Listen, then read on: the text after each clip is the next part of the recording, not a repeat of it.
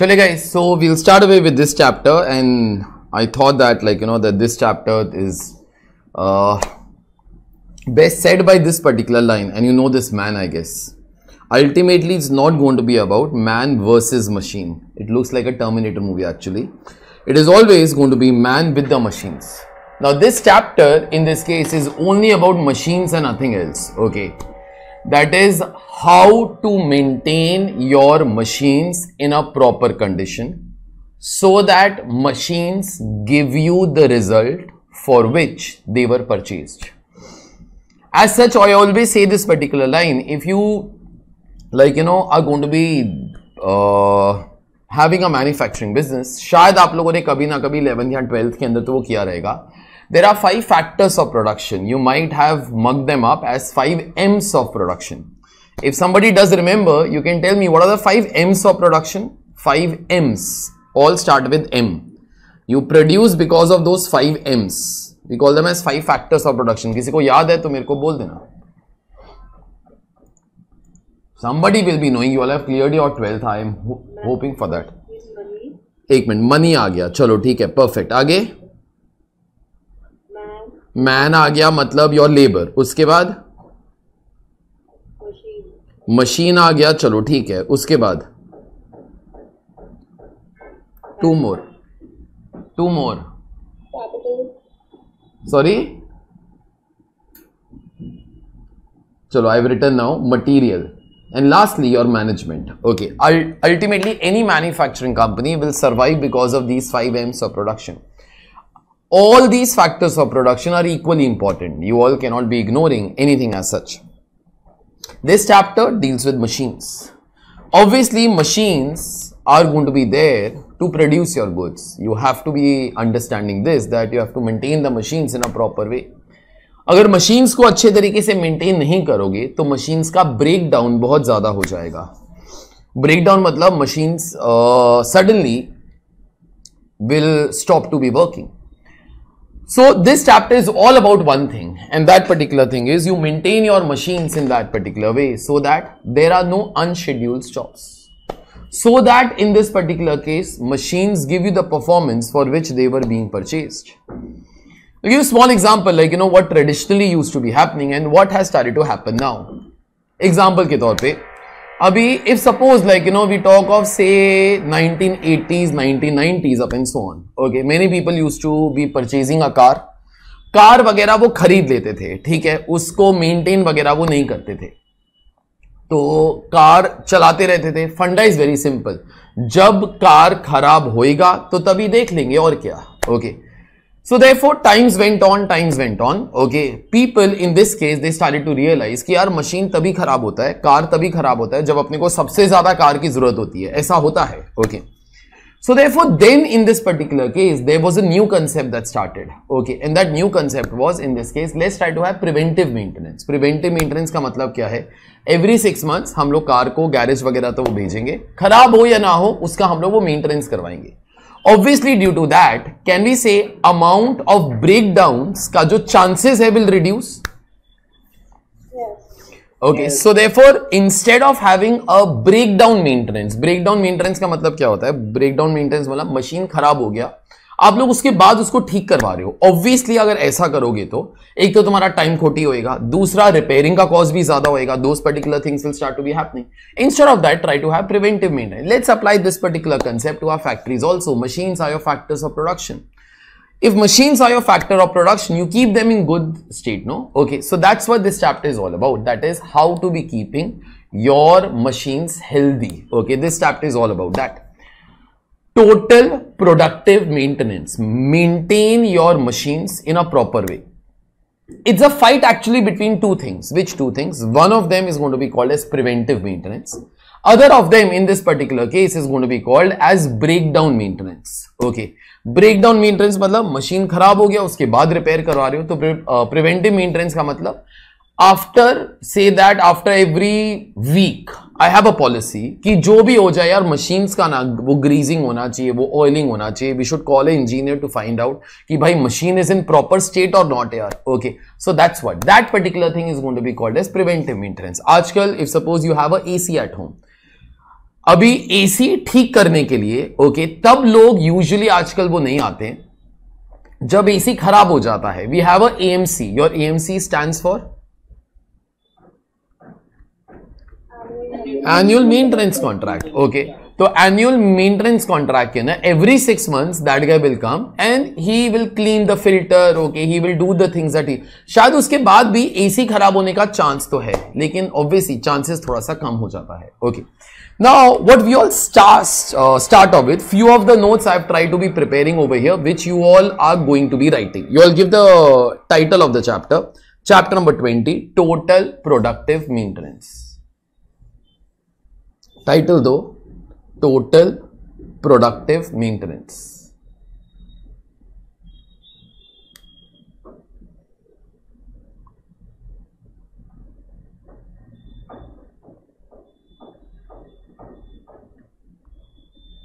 Now, see, I'm going to be doing this particular kind of a discussion under few heads that you'll keep on writing. Okay, I have written them to before your lecture started. ये लिखो जरा please.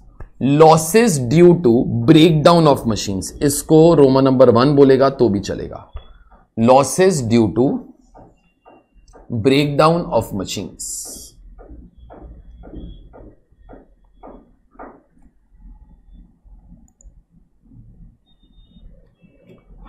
ना अभी एक चीज़ जरा वो सोचो, ये लिखो मत. मेरे को जरा बोलो, तुम्हारा मशीन चल रहा था, ठीक है? सडनली उसका ब्रेकडाउन हो गया। मेरे को जरा बोलो मतलब सडनली खराब हो गया, बंद पड़ गया। What are the losses that will happen to you because there was a break down of machine अपने हिसाब से whatever you all will say most of those particular things are got be making sense for me मेरे को जरा बोलो क्या क्या losses हो सकते हैं? Units come produce i think that should be the first particular thing. That will be nothing but loss of productive time. Okay so therefore let's start to be having that particular thing over here. To likho zara please your first point. point. First loss of loss of productive time. Loss of productive time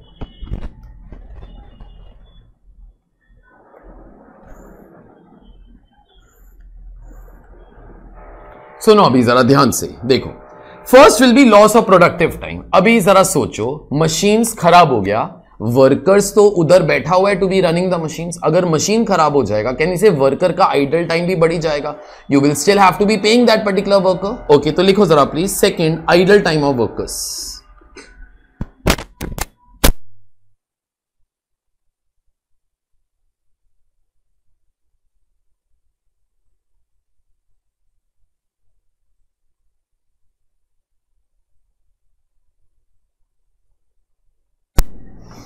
आगे third third जो आपका यहाँ पर वो point है तो वो जरा देखना। Now this thing you might have notice जरा वो सोचो। जब मशीन खराब होता है ना खराब होने से पहले जो भी क्वालिटी ऑफ़ द गुड्स बनता है ना वो अच्छा नहीं बनता है। ऐसा यूजली होगा। एग्ज़ाम्पल अगर suppose like know your computer खराब होने वाला होता है ना ओके okay, उससे पहले जरा देखना वो रुकता बहुत ज़्यादा है। उसको डेटा प्रोसेसिंग के लिए बहुत ज़्यादा टाइम वगैरह वो लगता है। हार्ड डिस्क क्रैश होने से पहले कुछ ना कुछ साइन वगैरह वो आता है। लाइक यू नो कि हार्ड डिस्क क्रैश होने वाला है। शायद कुछ डेटा कुछ छोटी सी फ़ाइल भी जो है बराबर से कॉपी वो नहीं होती। So obviously the quality of the goods is not proper before the break down will happen to give a small example अगर तुम्हारा एसी खराब होने वाला है शायद उससे पहले एक दो दिन तक इतना कूल एयर भी नहीं आएगा। There is a hint for you कि शायद कंप्रेसर जो है, वो खराब हो रहा है। So obviously in in that particular case breakdown से पहले the quality of the goods will not be very good okay और अगर ब्रेकडाउन के बाद फिर भी मशीन को चलाओगे, कुछ भी करके तो ऑब्वियसली जो क्वालिटी ऑफ़ द गुड्स वो बनेगा, वो खराब ही बनेगा। यहाँ पे जरा लिखना third inferior quality of the products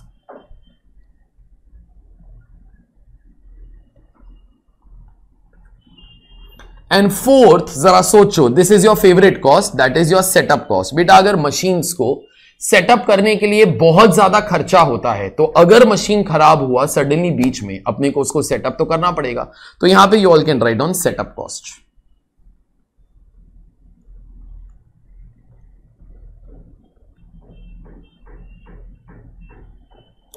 आगे second Second, in this particular case, is total productive maintenance. Now, this is a program. Okay. जैसे like you know your total quality management का अपना एम क्या होता है गुड्स ऐसे बनाओ which are of the best quality total productive maintenance का मतलब क्या होता है मशीन्स को ऐसे रखो ताकि they give you the result for which they were purchase suddenly machine बंद नहीं होना चाहिए ओके okay? मशीन जो है वो चलना चाहिए वो अच्छे तरीके से वो चलना चाहिए ओके okay? लिखो जरा please second total productive maintenance that's the name of this particular chapter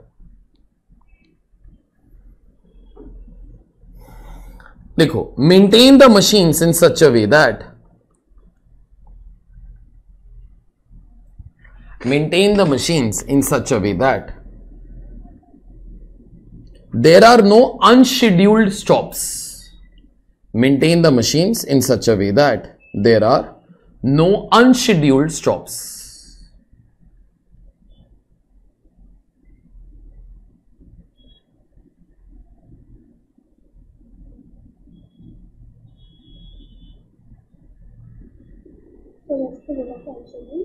Maintain the machine मेरे स्क्रीन पर भी वो लिखा हुआ है। Maintain the machine in such a way that there are no unscheduled stops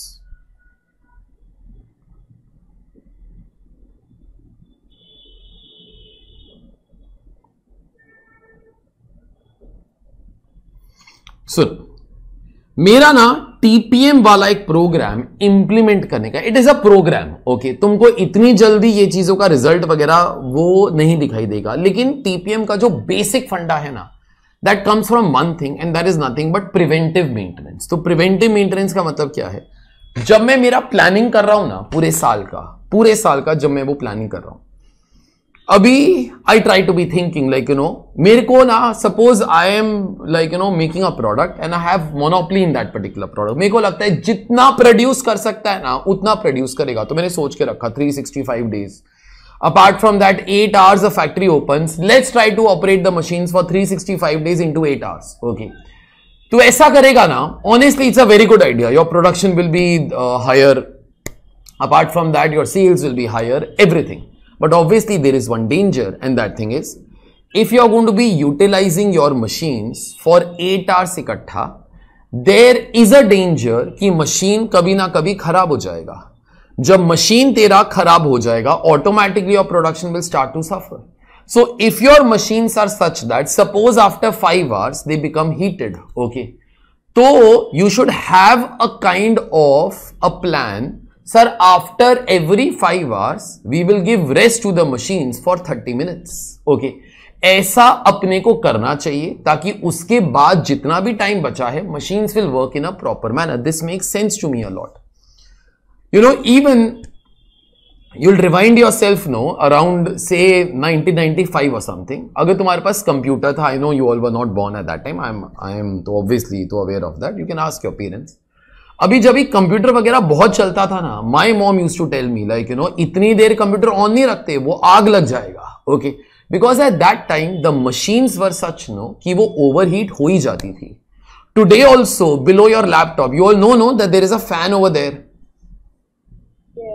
and that is why you get many things okay आपको एक cooling fan एक वो डिवाइस मिलता है जो आपका जो हीट है नीचे से, वो लैपटॉप से तो वो निकाले we call that particular thing as a cooling pad okay you all might have seen seen that particular thing also now why are these things there these things are there because तुम्हारा laptop काम करता रहेगा specially if you have a laptop at home you should always see कि उसका fan किधर है। कई laptops का जो फ़ैन होता है वो नीचे होता है कईयों का जो होता है वो साइड पर होता है अगर साइड पे है तो ठीक है अगर नीचे होता है ना you should always be ensuring कि उसका जो फ्लो है ना वो ब्रेक ना हो because else heat will remain inside the laptop the parts of the laptop will get overheated and over a period of time जो लैपटॉप है ओके okay, वो खराब होना स्टार्ट हो ही जाता है so therefore TPM came with a very simple funda. Machines should give the performance for which we all had purchased them. That is why you should try to maintain them in a proper way. And maintenance मतलब there should be preventive maintenance preventive maintenance is like prevention cost कोई चीज़ खराब होने से पहले उसको maintain करो ना तो शायद खराब ही ना हो। ओके सो प्रिवेंटिव मेंटेन मतलब जब अपना प्लानिंग करते हो प्रोडक्शन प्लानिंग तो आठ घंटे के हिसाब से बेटा प्लानिंग ही नहीं करने का। You should be wise enough to understand कि 30 minutes in a day machines can be given rest तुमको समझ में आएगा, उसके बाद आप performance will be far better as compared to those kind of cases whereby we did not maintain the machine and suddenly machine बीच में वो खराब हो गया पाँच छह दिन तक तो वो खराब ही रहा। उससे अच्छा you maintain the machine in a proper way is this understood तो this is a programme this is a programme okay ये वाला प्रोग्राम आज इंप्लीमेंट करोगे ना there are many technical things that come also okay suppose for a small example अभी this is just an example from my experience अभी my friend has a gym तो उसका जो ट्रेडमिल था ना, बहुत ज़्यादा खराब होता था तो बहुत ज़्यादा खराब होता था। तो वन डे ही आज मी लाइक यू नो कि what should be done I आज हिम कि ट्रेडमिल के अंदर सब कुछ थोड़ी खराब होता होगा। कुछ ना कुछ like you know there must be something जो ज़्यादा खराब होता है। बोलता है, जिस चीज़ के ऊपर अपन लोग, वो भागते रहते हैं ना ओके दैट पर्टिकुलर थिंग वो जो मैटिंग होता है ओके okay? क्योंकि आप उसके ऊपर वो भागते हो तो वो घिस जाता है। तो बोलता है, वो जो चीज़ है ना, वो टूट जाता है okay I don't if you know कि वो वाला चीज़ है जो टूटता है, तेरे को उसका जो स्टॉक है, वो ज़्यादा रखना चाहिए। जैसे ही वो खराब हुआ in that particular case you can try to replace it by yourself बोलता है, वो मेरे को थोड़ी आता है. मैंने बोला, तू एक काम कर, एक बंदे को पकड़ वो specialist in maintenance of the treadmill उसको बोल कि देखो वो ट्रेनिंग दे दे. Okay now this funda is used in TPM a lot whereby we try to be thinking एक तो मशीन को बराबर से मेंटेन करेंगे, ताकि they give the performance for which they were purchased Second, in this particular case, what we all will do, we all in this particular case will try to train a worker, okay, or train the workers for doing smaller smaller things by yourself only okay हर एक चीज़ के लिए बड़े बंदे expert वगैरह को बुलाने की कोई ज़रूरत नहीं। Train the workers in such a way that most of the things in this case those guys can do by it तुमको समझ में आएगा अगर ऐसा होएगा तो। अगर कभी मशीन खराब भी हुआ most of the things can be repaired no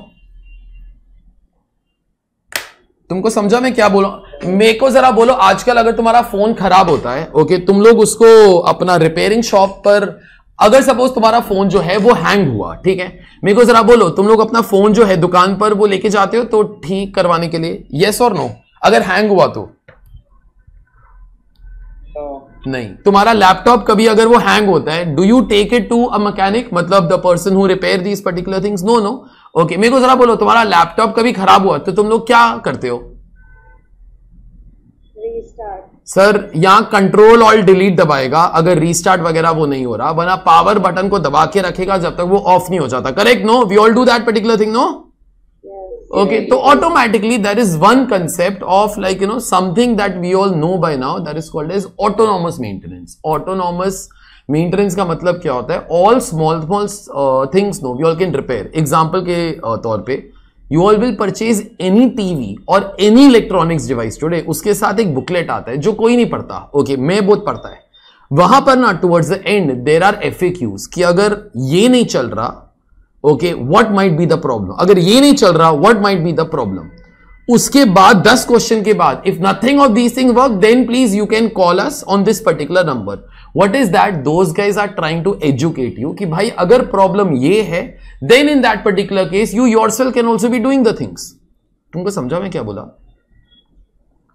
ना ये वाला चीज़ अगर तुम लोग फैक्ट्रीज के अंदर अप्लाई वो करोगे ना it becomes very big traditionally क्या होता था ना? Traditionally before such kind of programmes came okay there used to be a maintenance department and there was a factory okay factory के अंदर बहुत सारे वर्कर्स हैं, बहुत सारी मशीन है। अभी मशीन्स के ऊपर वर्कर लोग काम कर रहे हैं मशीन खराब हो गई। वर्कर्स में से एक बंदा मेंटेनेंस डिपार्टमेंट को कॉल करेगा मशीन खराब हो गई। वो लोग अपने हिसाब से आएँगे, कभी ना कभी मशीन रिपेयर करके जाएँगे। उतने टाइम तक तुम्हारा प्रोडक्शन ही नहीं हो सकता। A better way better ways maintenance team should try to train the workers for all smaller smaller kind of breakdowns that might happen, no? Workers को ट्रेनिंग दे सकते हैं ना कि भाई अगर ये चीज़ खराब हुआ ना अगर सपोज़ मशीन नहीं चल रहा है तो पहले ये चीज़ ट्राई कर ले फिर ये चीज़ कर ले फिर ये चीज़।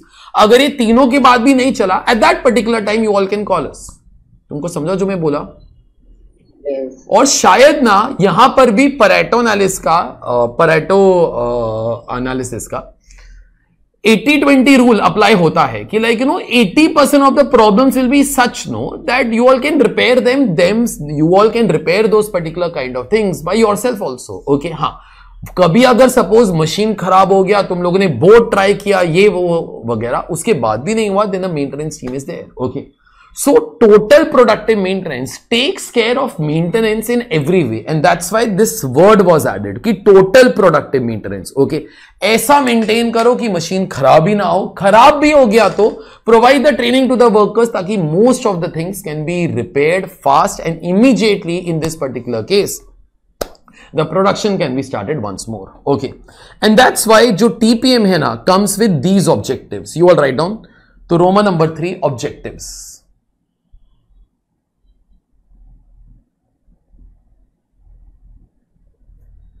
चार ऑब्जेक्टिव्स हैं, और ऐसे ही लिखना जैसे वो मैंने लिखा है I'll be better productive maintenance के चार ऑब्जेक्टिव्स क्या हैं? फ़र्स्ट ज़ीरो ब्रेकडाउन मशीन का ब्रेकडाउन ही नहीं होना चाहिए. वो ऑब्जेक्टिव है ओके शायद ऑब्जेक्टिव फुलफिल हो या ना हो वो अलग बात है, लेकिन वो एक ऑब्जेक्टिव है of TPM second zero downtimes downtime का मतलब ऐसा ना हो कि मशीन ओवरहीट हो गया फिर अपने को बंद करना पड़ा। ऐसा नहीं होना चाहिए। यू शुड नो कि मशीन ओवरहीट कितनी देर के बाद होता है। उससे पहले you should shut down the machine okay so therefore zero breakdown zero downtimes third zero failures due to poor condition ऐसा नहीं होना चाहिए कि मशीन्स की वजह से तुम्हारा प्रोडक्ट जो है तो वो फॉल्ट वो जो है वो फॉल्टी बने। That is zero failure due to poor condition उसका एक बेस्ट एग्जांपल मैं तुमको देता हूँ।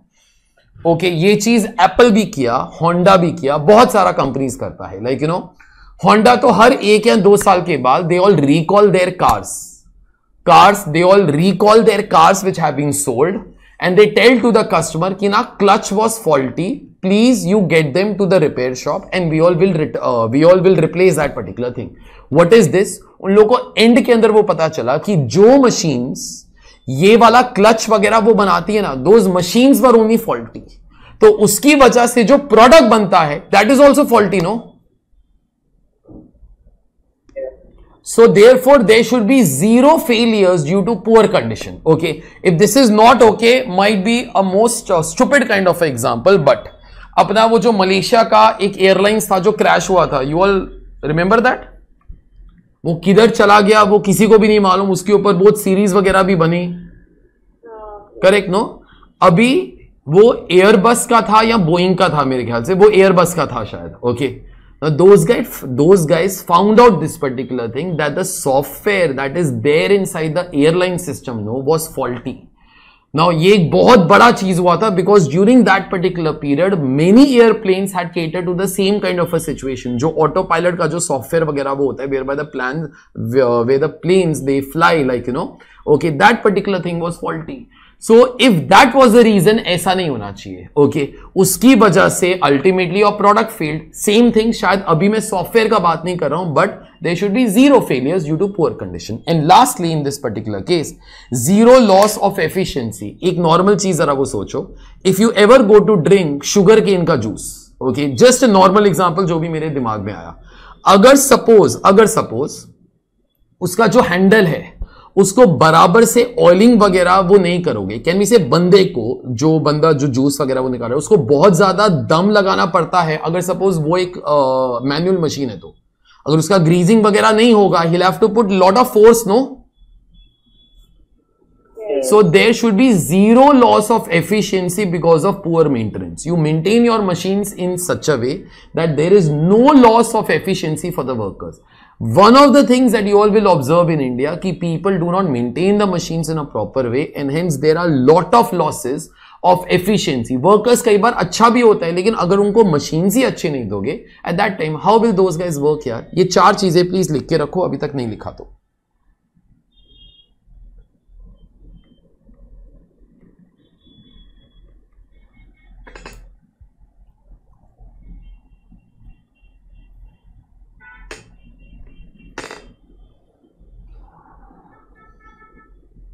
zero breakdown zero down times zero failure due to poor condition आगे अगर लिखना चाहो तो poor condition of machines obviously machines के बारे में बात कर रहे हैं and zero loss of efficiency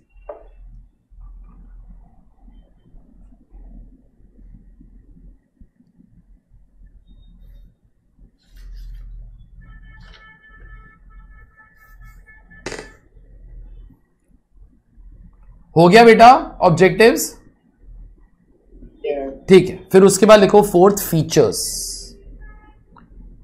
features एक एक करके मैं समझा रहा हूँ then you all write please जब तक मैं बोलू ना प्लीज़ डोंट राइट फीचर्स याद रखना two costs are always inversely proportional टू each other. What are those two costs? One of them is a breakdown maintenance.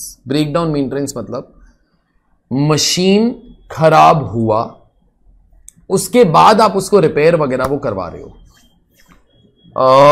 Might be like no the example that I like no think of की break down maintenance वगैरह। अभी ना in Andheri we have a centre okay जहाँ पे अपना ये जो final C का बैच वगैरह है, ये चलता था। ना ये जिसका ये फोटोग्राफ वगैरह है ओके okay. तो अप्रोक्सीमेटली तो 1500 students were coming in or one single batch of costing now अभी इसका जो एसी है ना, इसका जो एसी है एक्चुअली वो एसी नहीं है कि एसी का रूम है पीछे okay this is 130 ton AC it's one single AC of 130 ton okay you will not believe but इसके लिए every day every day one litre sorry one tanker of water use to be coming okay एक truck आता था रोज सुबह, क्योंकि जब AC चलता है, बहुत ज़्यादा हीट प्रोड्यूस होता था। And this originally was a theatre तो ये वाला जो एसी सिस्टम है ना, कुछ 1992 के आसपास का है तो बहुत पुराना था। लेकिन to change it it was too expensive so therefore we continued with that particular thing okay तो हम लोग उसको ठंडा रखने के लिए we use to be doing that particular thing okay अभी हमसे पहले ओके तो हमसे what we all were doing like you know we keep the AC in a normal kind of a temperature we keep on pouring the water okay through the pipes वगैरह, ताकि AC का जो compressor वगैरह तो it was a older system ताकि वो cool down ही रहे, खराब ना हो। अपन लोगों ने उसको सात साल में एक बार रिपेयर करवाया। इससे पहले when there was a theatre over here okay वो लोग ऐसा कुछ नहीं करते थे। वो लोग ऐसा कुछ नहीं करते थे, उसकी वजह से every three months they use to be repairing the AC now that is the difference वो लोग जो खर्चा करते थे that is called as which kind of the maintenance breakdown maintenance what we all were doing called as preventive maintenance अभी वहाँ पर तभी ना तो वो थिएटर था तो पिंकी थिएटर था। जरा सोचो ब्रेक डाउन मेंटेनेंस अगर हुआ तो शो चल रहा है, बीच में एसी बंद हो गया और वो सिंगल स्क्रीन था। वहाँ पे जो पब्लिक थी, इतनी थर्ड क्लास आती थी। ऑटोमेटिकली वो लोग तो जो मिला हाथ के अंदर वो लोग स्क्रीन के ऊपर मारना चालू, वो हो ही जाते थे। Obviously for them losses are very high so they for a better way you try to have a fund of preventive maintenance maintain the machine in such a way ताकि they give you the result for which they were purchase okay यहाँ पर लिख के रखो first breakdown maintenance versus preventive maintenance breakdown maintenance versus preventive maintenance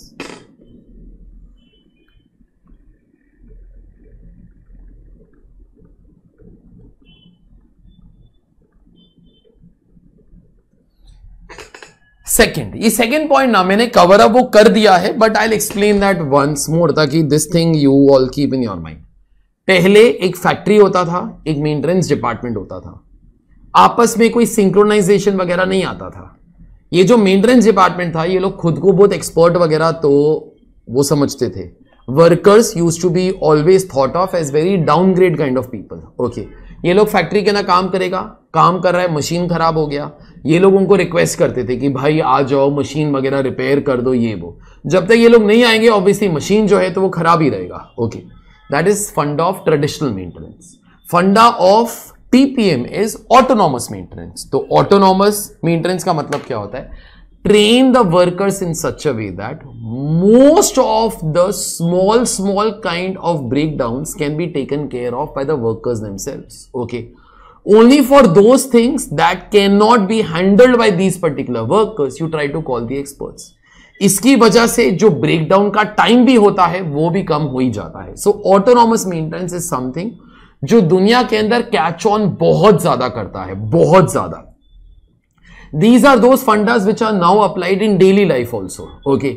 Obviously suppose तुम्हारा computer जो है, वो चालू नहीं हो रहा। फॉर अ स्मॉल एग्ज़ाम्पल अभी मेरा डेस्कटॉप अगर सपोज़ वो चालू वगैरह वो नहीं होता first thing that I do obviously I try to be thinking कि कंप्यूटर के बदले में कुछ और लगाकर वो देखता हूँ, वो चालू हो रहा है कि नहीं? I think that the first thing that we all do no कुछ और चालू करके वो देखते हैं। तो मैंने वहाँ पे सपोज़ घर में था तो मैंने हेयर ड्रायर लगाया। ओके हेयर ड्रायर चालू हो गया।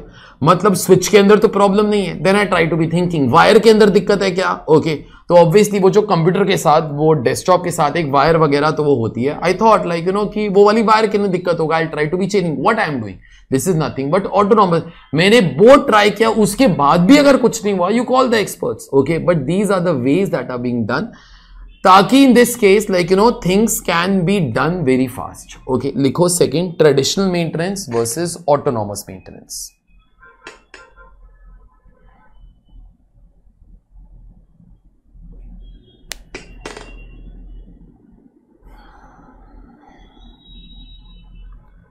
third एक चीज़ जरा याद रखना। टी क्यू एम हुआ। T Q M concentrates on one thing जो क्वालिटी प्रोडक्ट का बनना चाहिए that should be the best quality that we can be making उसके लिए भी, बेटा you got to be training the workers तुम लोग को याद होएगा one of the prevention cost is staff training cost no आप लोगों ने पिछले लेक्चर के अंदर ही किया ना? You train the staff in a proper way तो वो नहीं होगा। तुमको समझ में आएगा टीपीएम के अंदर भी बेटा देखो वर्कर लोगों को ट्रेनिंग तो देना पड़ेगा। कोई बोलते सर ट्रेनिंग क्यों देने का? एक तो देखो ऑटोनॉमस मेंटेनेंस के लिए you will require the training second you will have to tell the workers how to be running the machines कई वर्कर लोग मशीन्स को ऐसा यूज़ करते हैं कि वो खराब होएगा ही होएगा। ओके एग्ज़ाम्पल कोई अगर तेरा फ़ोन लेकर कैसे भी यूज़ करता है ओके तू बोलेगा, भाई, ये मत कर। उसका जो स्क्रीन है वो खराब हो जाएगा। Will be saying that particular thing let's apply the same thing to the factory also so therefore we try in this case to be training the workers how to be running the machines how to be maintaining the machines how to be repairing the machines in case of the breakdown okay so for all these particular things training is required okay तो याद रखना T Q M के अंदर the training is required how to be making the product okay T M के अंदर the training is required how to be maintaining the machines how to be running the machines in a proper way okay and obviously in this particular case how to repair the machines okay तो यहाँ पर वो लिख के रखो training of the workers is required to show the result of TPM training is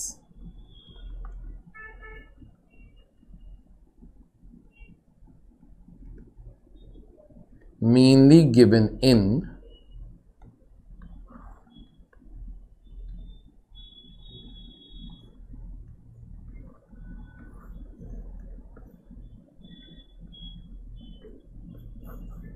training is mainly given in three areas.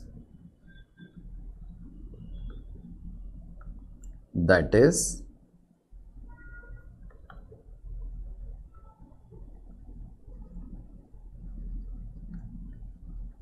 how to run the machines.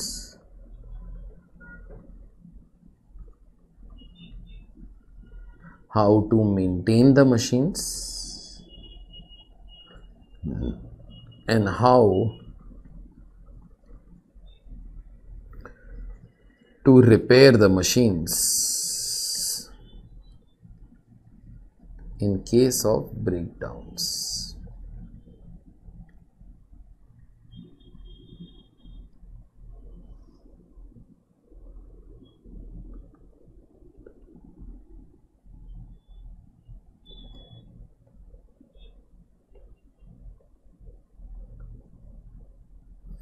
अभी लिखो TPM versus TQM.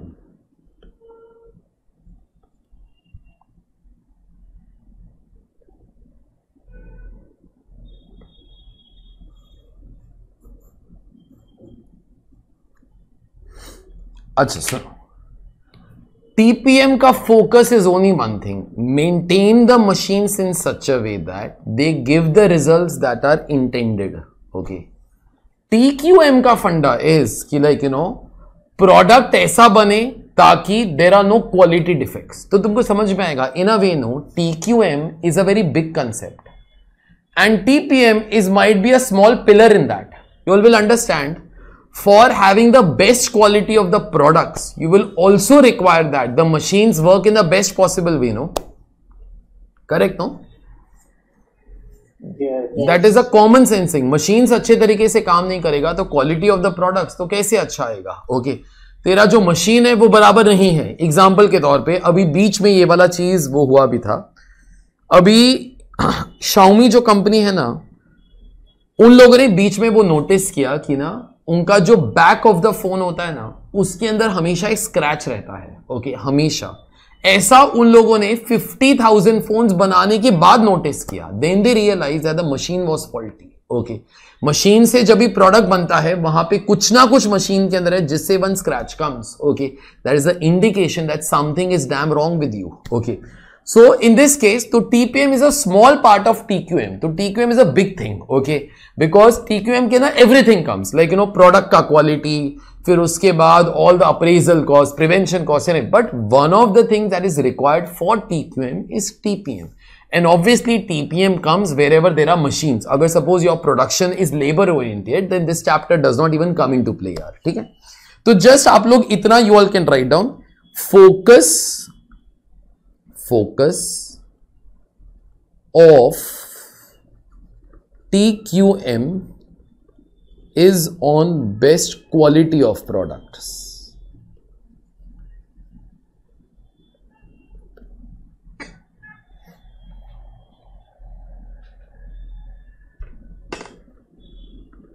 Focus of TPM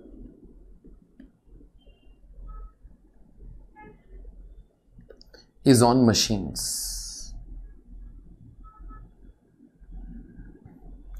एक line इसके बाद लिखना।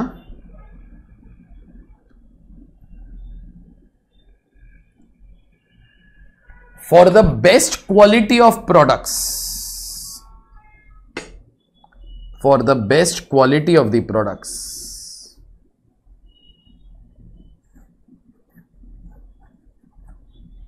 it is necessary that for the best quality of products it is necessary that machines are maintained in the best state.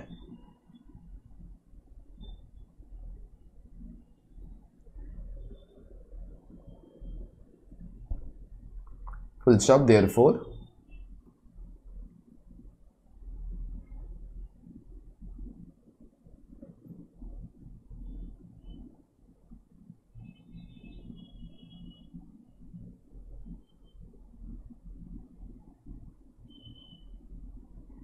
TPM is one of the components of TQM. Therefore,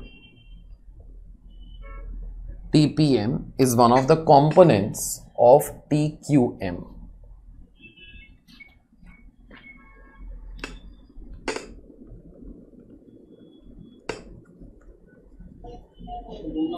TPM is one of the components of TQM.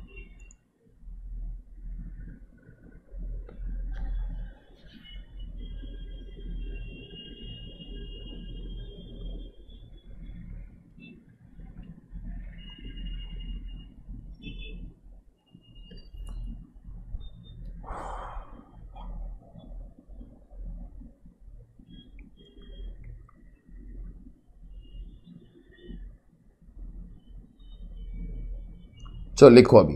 Six types of maintenance ये अपना last part है। Okay okay, जिससे अपना जो theory है will almost get covered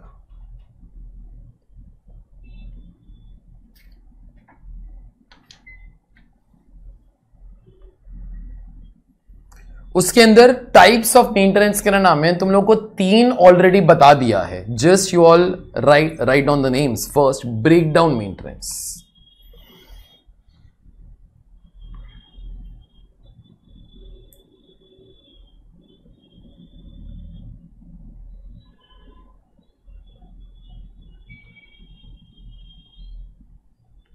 soon break down maintenance का मतलब क्या होता है? मशीन खराब हो गया, उसके बाद आप उसको रिपेयरिंग वगैरह करवाओ। That is a maintenance done after the breakdown sir that is not good sir machine खराब ही नहीं होना चाहिए। फिर आप एक काम जरा करो। ट्राई टू हैव अ फंडा ऑफ़ प्रिवेंटिव मेंटेनेंस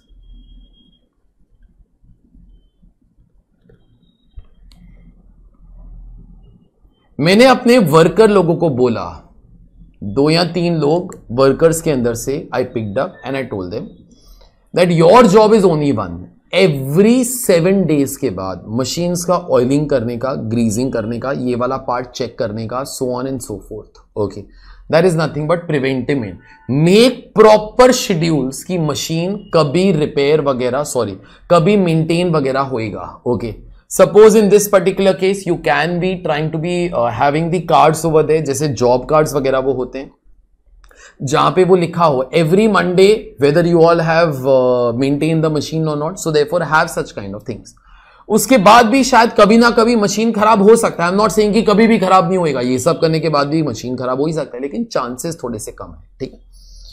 ये हो गया फ़र्स्ट ये हो गया सेकंड ओके फिर उसके बाद third third is autonomous maintenance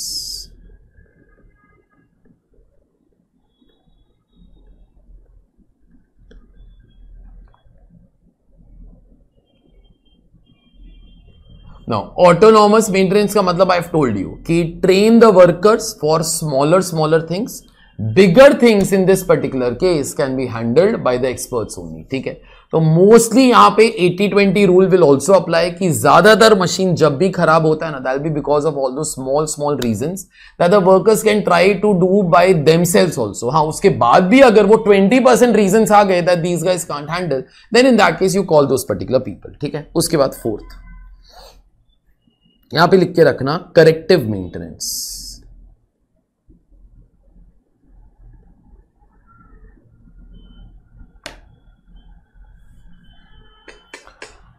now corrective maintenance का मतलब क्या होता है? अभी ये जो फोर्थ और fifth I am going to be saying ना दिस इज़ स्लाइटली वो technical try to make the machines in such a way try to use those particular machines which are easier to maintain which are easier to clean तुमको समझा जो मैं बोला?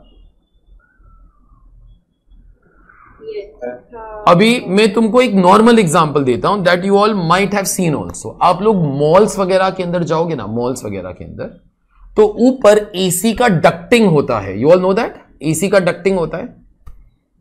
अभी AC का जो डक्टिंग होता है ना in most of the cases it will always be straight it will always be straight okay white straight अगर कभी अगर कभी डक्टिंग के अंदर अपने को साफ़ करने की ज़रूरत पड़ी ना आप एक तरफ़ से एयर मारो it will go out from the other particular thing ठीक है?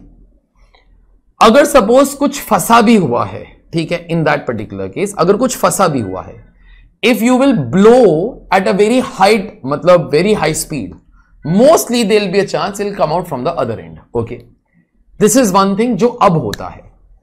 पहले के टाइम्स के अंदर, अगर सपोज़ एसी का जो डक्टिंग है, वो ऐसे जाके, वो ऐसे आ जाता है मतलब राइट right एंगल होता है।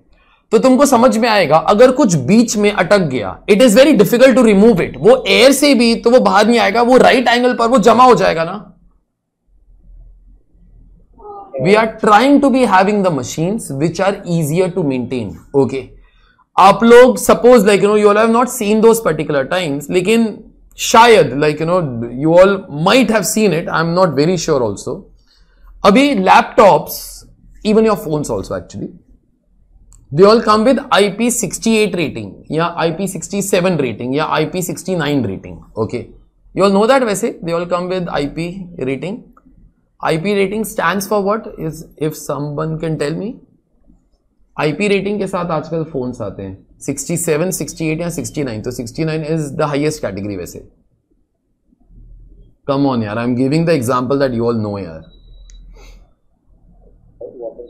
वाटर प्रूफ सुनो, उसके जो सिक्स होता है ना that is for dust proof जो सेवन होता है that is for water proof ठीक है? अभी most of the phones now they all come with these kind of ratings okay phones are dustproof and phones are water अगर 67 है ना तो it is water resistant it is not waterproof in 68 like you know the water resistance becomes waterproof up to a certain metres का limit okay and if it is IP 69 rating then it is good waterproof okay मतलब वो पानी वगैरह से कुछ होता नहीं है ठीक है? अभी some people always think like you know sir phone को डस्ट प्रूफ क्यों होने की ज़रूरत है? मैं मिट्टी में वो थोड़ी खेलता और सर मिट्टी लग जाती है ना मैं अपने इससे शर्ट से रब वगैरह वो कर लेता है। बेटा वो लोग वो मिट्टी का बात नहीं करता है। वो लोग वो मिट्टी का बात करता है which goes inside the phones okay which goes inside the phones अभी जो पहले वाले फोन्स होते थे ना जो पहले वाले फोन्स होते थे अभी उसका battery was removable you all have seen those times no at least उतना यू ऑल नो नो उसका बैटरी वॉज़ रिमूवेबल अभी बैटरी जब भी रिमूव करते थे ना क्योंकि क्या है अगर फ़ोन हैंग होता था ना तो 2010 2011 के ना there was a simple thing okay phone का बैटरी निकालो it is like restarting a computer तो वो ठीक हो हो, हो ही जाएगा. लेकिन जब भी आप फ़ोन का बैटरी निकालते हो dust particles in the air they enter the machinery उसकी वजह से ना फ़ोन तुम्हारा स्लो हो जाता है। Same thing happens with your laptops also okay which you all don't realise तुमको लगता है कि ऑपरेटिंग सिस्टम जो है वो पुराना हो गया है, जो प्रोसेसर है वो पुराना yes those are also the factors but your dust accumulates on the processors, they accumulate on the motherboards. That is the one big reason that your machines become slow. तो फिर ये सैमसंग एप्पल वगैरह ने क्या सोचा कि let's try to make the phones which are dustproof okay जहाँ पर in this case this problem will not will only not be coming so therefore धीरे धीरे ना machines are coming which are easier to maintain okay corrective maintenance का मतलब क्या है? ऐसा मशीन्स खरीदो which are easier to maintain okay और next step is the step ahead of that that I was trying to be explaining and that is called as लिखो maintenance prevention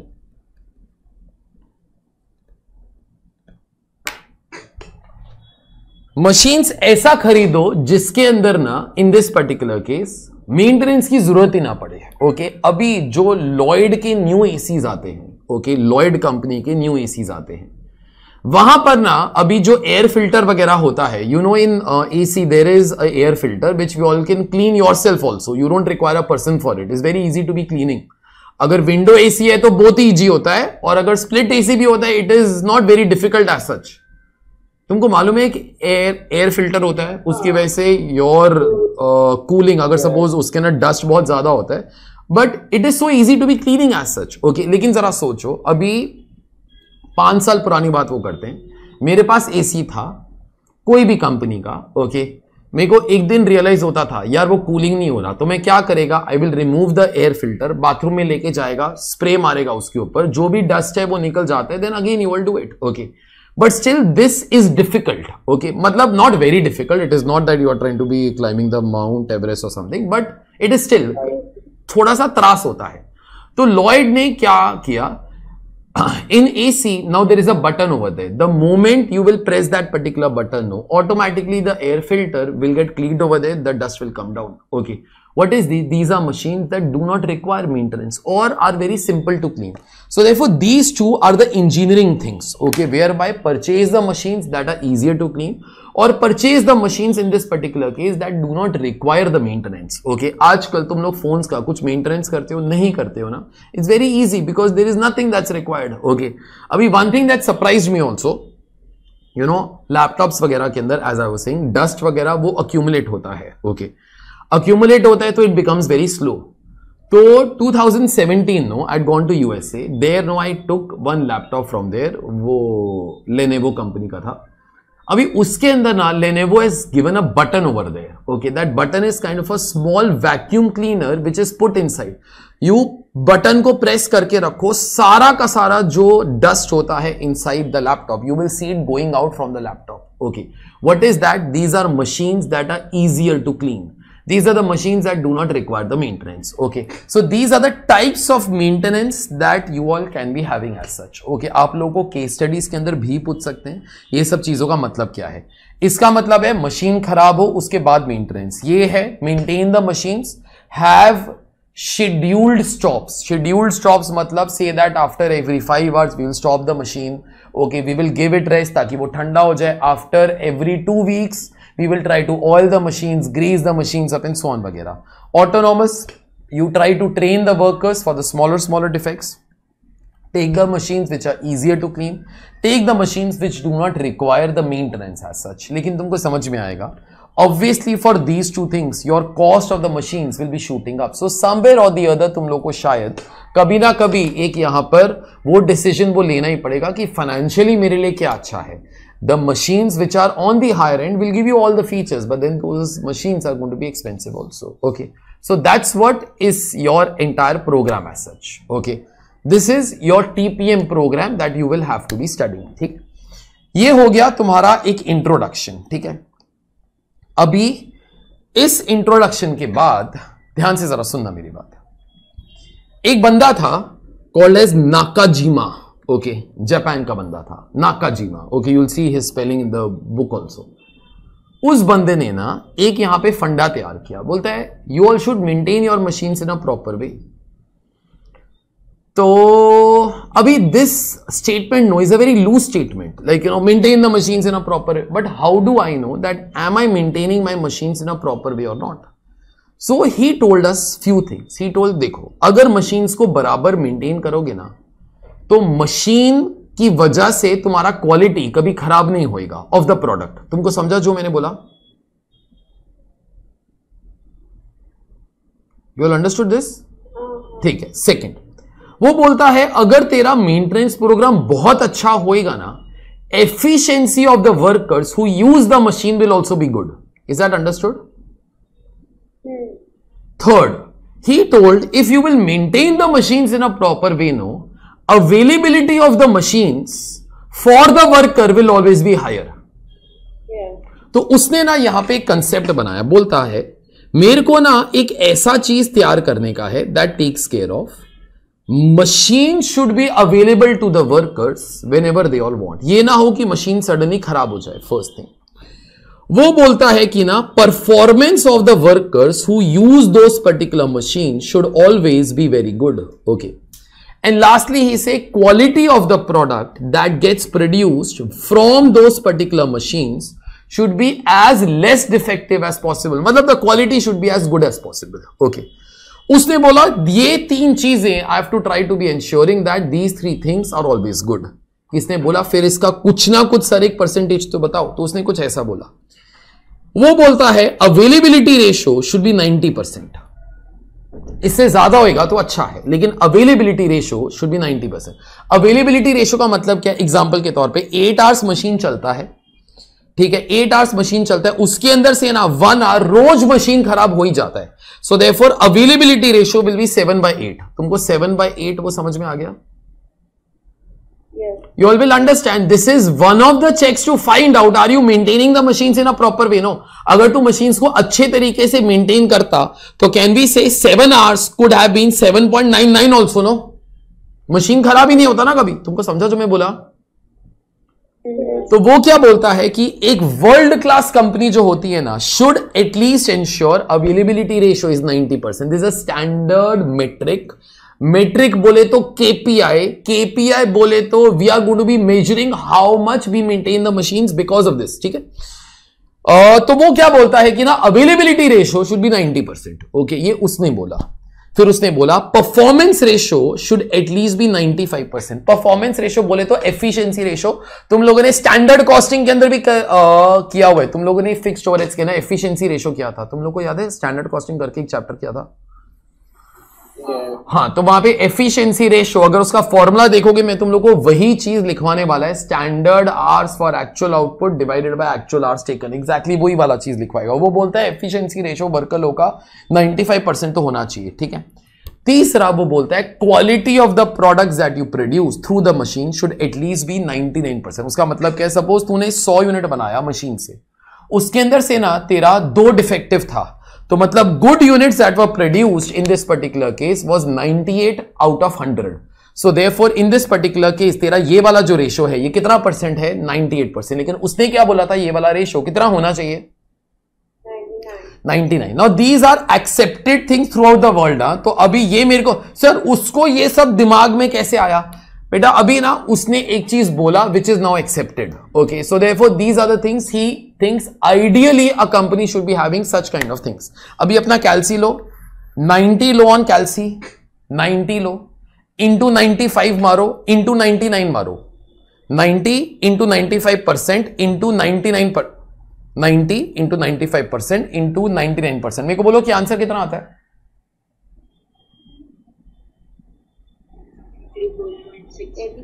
85 के आसपास आता है ना? ओके तो इन दिस केस उसने क्या बोला है? आज से ना ये तीनों का multiplier we will call as O overall equipment effectiveness okay this was a term that was coined by Mister Nakajima he told अगर आपका कंपनी टीपीएम प्रोग्राम अच्छे तरीके से इंप्लीमेंट करेगा ना then in that particular case ये वाला जो रेशो है ना that will be around 85 percent so therefore it is always told that if your this ratio OEE is 85% or more. No, it is a world class ratio. And your TPM program is working perfectly. Is this all okay? ठीक है। मैं तुम लोग को यही वाला चीज़ लिखवाने वाला हूँ। और उसके बाद बस तुमको हर एक का मैं यहाँ पे फॉर्मूला जो है वो बता सकता हूँ। But that formula is exactly the same thing that I have explain also ठीक है? लिखो जरा प्लीज़ राइट डाउन ऐसा लिखना, एक टाइटल देना के पी आई केपीआई का full form you all know key performance indicator of TPM next line पे ना ओ ई बाद में लिखना, पहले उसका फुल फॉर्म लिखना. Overall equipment effectiveness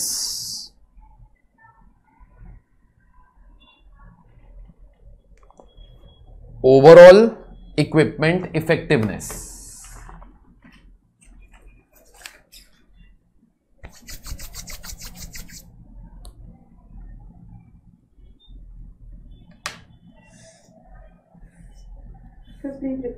overall equipment effectiveness overall equipment effectiveness is equal to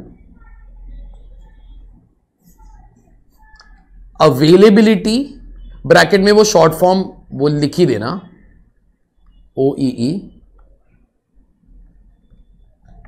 is equal to availability into performance into quality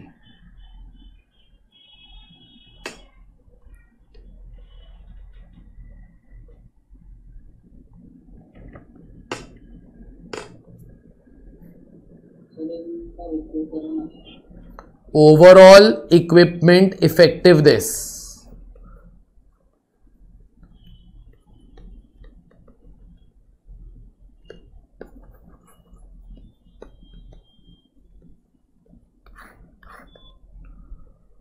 Overall equipment effectiveness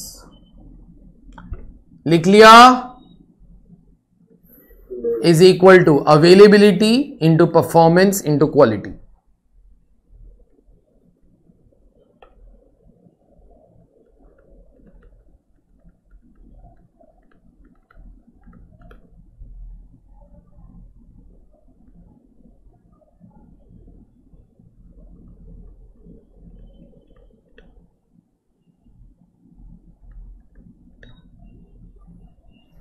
अभी उसके बाद ज़रा लिखो, ऐसा एक टेबल बनाएँगे। तो सबसे पहले फ़र्स्ट अवेलेबिलिटी रेशो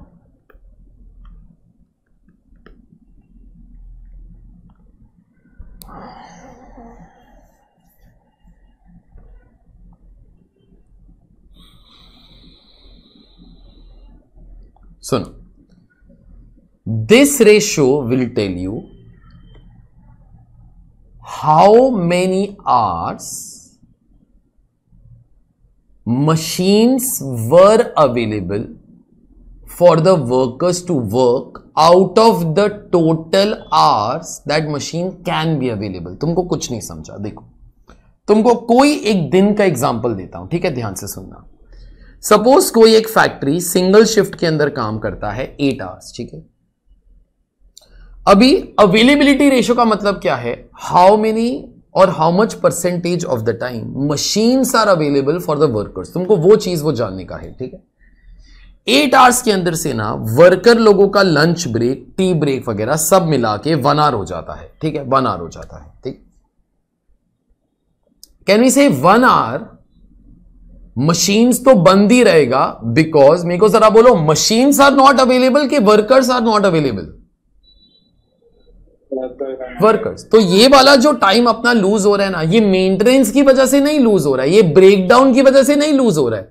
ये इसलिए लूज हो रहा है क्योंकि the workers are not available वो लोग खाने पीने के लिए गया यार, ठीक है? That is one thing second हम लोग क्या करता है, हमारी फैक्ट्री के ना एक फंडा है कि ना, we give the workers, we give the workers 45 minutes in this particular case to clean the things ठीक है? टू क्लीन द थिंग्स अभी बेटा फैक्ट्री के अंदर काम होएगा फैक्ट्री गंदा वगैरह तो हो ही जाएगा। So during the day no they have to be cleaning the factory two times the total time for that is 45 minutes ठीक है? Obviously during that time also machines will have to be close क्योंकि workers are cleaning the things ठीक? और company का एक फंडा है, रोज का 15 मिनट ना मशीन को ऑयलिंग वगैरह वो दिया जाएगा all those particular things will happen ठीक है? तो if somebody will ask you on any day on any day machines machines machines should be available to the workers for how many hours of production तो can we say our answer is going to be six hours no as such correct no six hours के लिए machine should be available for production लेकिन एक दिन क्या हो गया? बीच में ना मशीन सडनली खराब हो गया। तो 30 मिनट्स जो है वो उसके अंदर से चला गया। ओके तो 30 मिनट्स वो लग गया मशीन को रिपेयर वगैरह वो करने के लिए, ठीक है? That was one particular thing second बीच में ना पावर फेलियर हुआ। याद रखना power failure is also your problem अगर तुम्हारी कंपनी के अंदर पावर फेलियर बहुत ज़्यादा होता है then in that particular case you should have installed a power backup if you have not install that is blood your problem ठीक तो in that particular case 20 minutes went for that particular thing बीच में machine खराब हुआ फिर से उसको setup करना पड़ा। Okay so therefore ten minutes वो उसके अंदर गया। ओके तो can we say machine were available only for five hours no five by six is nothing but your availability ratio that is machine could have been use for six hours but machine were actually use for कितना hours five hours you all understood the meaning of the term availability ratio how many hours और how much percentage अगर suppose मैं percentage के निकालने के लिए जाऊँ be five by six into hundred be nothing but eighty three point three percent okay this is nothing but availability ratio मैं तुम लोग को एग्जैक्टली exactly यही वाली चीज़ वो लिखवा रहा हूँ, ठीक है? तो फाइव बाई सिक्स फाइव यहाँ पर क्या होगा? यहाँ पर लिख सकते हो एक्चुअल आर्स वर्ग या फिर तुम लोग इसको ऑपरेटिंग टाइम भी बोल सकते हो। Divided by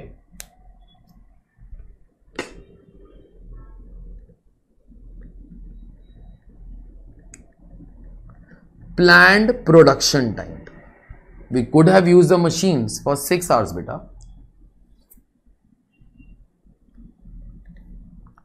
इसके ऊपर एक एस्ट्रिक डालना and on into hundred you all can write down if you all ठीक है?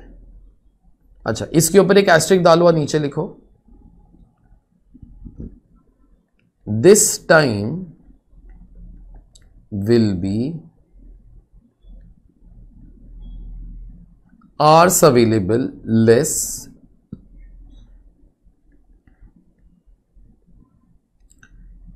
time when workers are not there.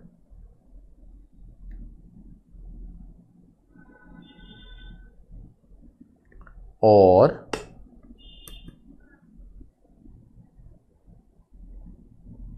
clean up time or time for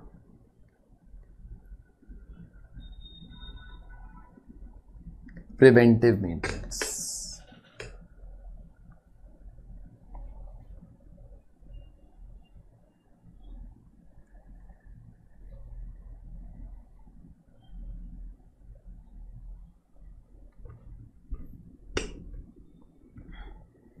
चलो, ये वाला रेशो 90 परसेंट होना चाहिए। बस यहाँ पे आप लोग 90 परसेंट लिख सकते हो। ये बहुत लंबा जाएगा। मैंने क्या बोला था, तीन या चार लाइन। चलो, ठीक है। अवेलेबिलिटी रेशो उसके बाद परफॉर्मेंस रेशो इसको तुम लोग एफिशिएंसी रेशो भी बोल सकते हो। ये स्टैंडर्ड कॉस्टिंग का लास्ट रेशो है। अभी वर्कर लोगों ने जरा सोचो, कितने घंटे काम किया बेटा? पाँच घंटे, ठीक है? अभी फॉर अ स्मॉल एग्ज़ाम्पल उन लोगों ने 200 यूनिट बनाए। 200 यूनिट बनाने के लिए फोर आवर्स लगना चाहिए था ठीक है? लेकिन 200 यूनिट बनाने के लिए कितना आवर्स लग गया? फाइव आवर्स एक मिनट फोर आवर्स लगना चाहिए था फाइव आवर्स लग गया। पहले मेरे को जरा बोलो आर वर्कर्स एफिशिएंट यस और नो नो तो कैन बी से जो मैंने तुम लोग को रेशियोज के अंदर सिखाया था शायद याद होगा efficiency ratio should be lower than hundred percent so numerator will be lower than the denominator you all remember that तो can be say your efficiency ratio will be four by five no into hundred कर लेंगे चलो। Okay okay. अभी जरा सोचो four क्या है और फाइव क्या है? मेरे को जरा बोलो फोर क्या है? फोर क्या है? Standard hours for actual output ठीक है तो लिखो जरा please standard hours for actual output five क्या है बेटा? Actual hours worked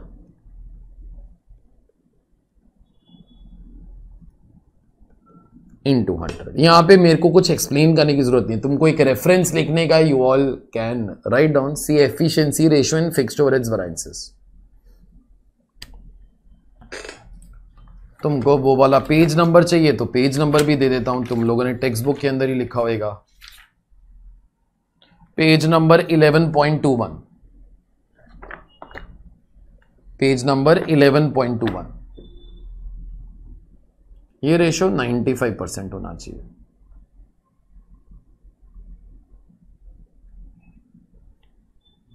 अच्छा देखो, ये बंदे का नाम अगर किसी को लिखने का बहुत मन तो नाका जीमा तो these are the things that were prescribe by him only तो अगर किसी को लिखने का है तो स्टैंड स्टैंडर्ड एज पर नाका जीमा।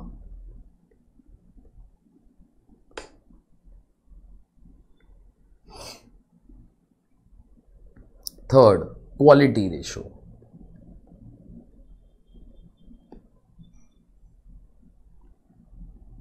तुम लोगों ने 500 यूनिट मशीन से बनाए ठीक है? 475 पास द क्वालिटी टेस्ट, बाकी rest of them were defective so therefore your quality ratio obviously will be this upon this into 100 so therefore units that passed the test divided by units produced into 100 ये 99 percent होना चाहिए।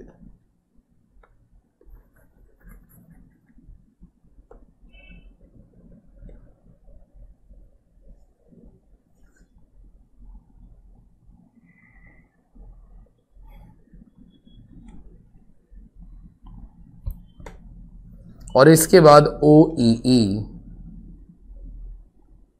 is equal to सुनो, अभी क्या कर क्या कर लेना that will save our half a minute इसको ए बोल देता है, इसको पी बोल देता है, इसको क्यू बोल देता है.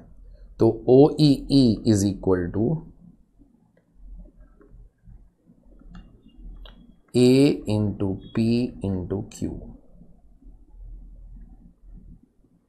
तो 90 percent into ninety five percent into ninety nine percent is equal to 85 percent.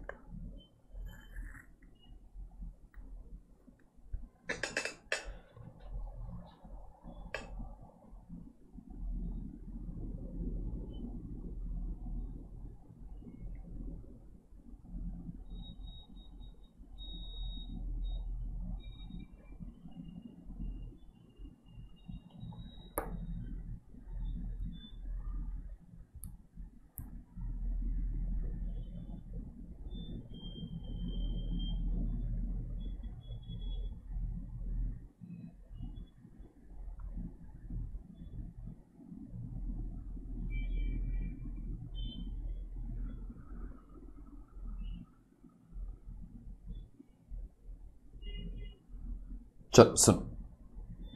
Your this job is done completely ठीक है? अभी अपने पास चार क्वेश्चन है फॉर ओ ई जिसके से टेक्निकली वैसे two are suppose to be for homework but I finish them off ठीक है? तो खत्म वो कर लेते हैं that'll be better question number two पर आ जाओ। फटाफट we all will finish them they are very simple question अभी ना एक छोटा सा चीज़ आईसीए ने ना अवेलेबिलिटी रेशियो का ये वाला जो फॉर्मूला है ना ये उन लोगों ने 2020 के मॉड्यूल्स के अंदर तो वो बदला था, ठीक है? So in few of the older papers ठीक है you all might find a different thing but now this is whatever has to be done by us ठीक है? So ensure that all your answers are based upon this particular thing only, okay? So, that's why i'm solving all the questions. तो एक दो का answer IC ने पहले अलग दिया था क्योंकि वो 2020 से पहले के वो क्वेश्चन से but now in this case those guys in a module have mention few of the things okay so अभी जो 2020 के बाद जो मॉड्यूल्स वगैरह वो आए थे ओके okay, तो उसके हिसाब से I have told you all the things so this is whatever you have to be doing ठीक है? पहले वो अवेलेबिलिटी रेशियो वो लोग वो गलत करता था 2018 के अंदर the moment the modules were release we all had told to them also कि अवेलेबिलिटी रेशियो वो गलत किया हुआ है। उन लोगों ने नहीं सुना 2020 के अंदर those guys had listen to us okay चलो Gold Coast Company Limited manufactures the spare parts It works in two shifts of 8 hours for 6 days a week. Lunch break is 45 minutes and the other miscellaneous breaks add up to 25 minutes. चलो ठीक है The following details are collected for the last 4 weeks by the TPM team for one of their important equipments. ठीक है एक चीज़ जरा याद रखना, वो लोग दो शिफ्ट्स के अंदर काम करता है एट आवर्स का for six days a week lunch break इतना है मिसलेनियस ब्रेक जो है वो इतना है, ठीक है? आगे. Hours for preventive maintenance for planned preventive maintenance 15 minutes per shift ठीक है? आगे. For break down maintenance six hours in total मेरे को जरा बोलो ब्रेक डाउन मेंटेनेंस होने के बाद पता चलता है कि पहले से पता चलता है? बाद में, बेटा, मशीन खराब होएगा तो पता चलेगा ना then there is a break down no आगे. Setup changes 15 hours in total अच्छा ये वाला डेटा बेटा फोर वीक्स का है ठीक है, आगे। Power failure four hours standard cycle time per piece three minutes number of parts produce per shift 120 parts accepted per shift 115 required calculate OEE तो चलो, ठीक है let's do the things as such okay सबसे पहले ना मेरे को सारा का सारा डेटा चाहिए, उसके बाद आगे बात करेगा। तो सुनो, मैं ना यहाँ पे ध्यान से सुनना। ये जो अवेलेबिलिटी रेशियो के लिए भी मेरे को आर्स चाहिए, मेरे को परफॉर्मेंस रेशियो के लिए भी आर्स चाहिए, ठीक है? क्वालिटी रेशियो ना मैं तुमको इतना बोल देता I think you all are big enough to understand ये दोनों चीज़ों से ना तुम लोग को क्वालिटी रेशियो जो है बराबर से तो वो मिल ही जाएगा। देखो जरा एक बार ये दोनों नंबर जरा देखो। तुमको समझ में आएगा ये पर शिफ्ट का डेटा है। अगर मैं यही वाला डेटा फोर वीक्स के अंदर भी कन्वर्ट करूँ ना तो भी मेरा जो परसेंटेज है वो तो वही रहेगा ना।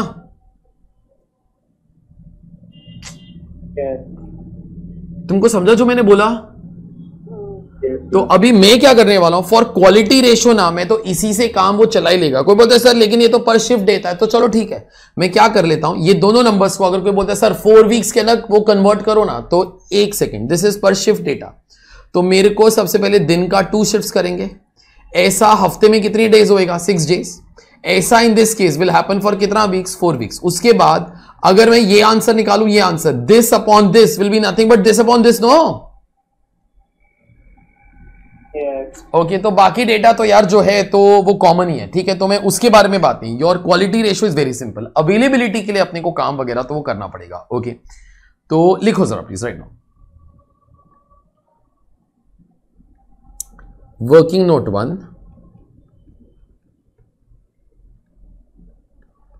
planned production time ये तुम्हारा डिनोमिनेटर हा? ये तुम्हारा डिनोमिनेटर अच्छा अब मेरे को जरा बोलना, तुम लोग मेरे को चार हफ़्ते के लिए बोलो, मेरे को बोलो चार हफ्तों के अंदर टोटली फैक्ट्री के पास कितने आर्स हैं? मेरे को वो चीज़ कंप्यूट करके दो ऑन कैलसी कितने आर्स के लिए फैक्ट्री विल ओपन मेरे को वो बताओ। That is not the answer that I want लेकिन मेरे को वो वाला आंसर तो बताओ। आराम से। वो गलत है वो।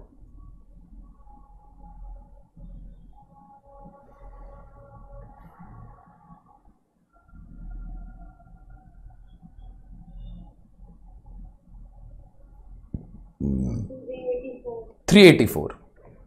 यहाँ पे वो लिखना hours that factory will open eight hours in one shift दिन का कितना शिफ्ट है टू ये हो गई एक दिन की कहानी। इन टू सिक्स डेज़ ये हो गई एक हफ़्ते की कहानी into four weeks three eighty four hours अच्छा अभी ना तुम लोग बस क्या करने वाले हो? इतना टाइम तो फैक्ट्री विल ओपन मेरे को जरा बोलो, इसके अंदर से how many hours we wanted machine to run आराम से मेरे को बस ये चीज़ बोल देना, कितना चीज़ें लेस करूँ? मेरे को उसके नंबर्स भी मत मत बताओ। लेकिन मेरे को बोलो, कितनी आइटम्स लेस करूँ ताकि मेरे को वो वाला आंसर मिल जाए।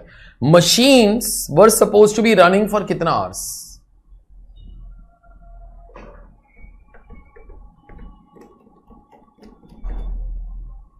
कितनी आइटम्स लेस करूँ ताकि मेरे को वो वाला आंसर मिल जाए?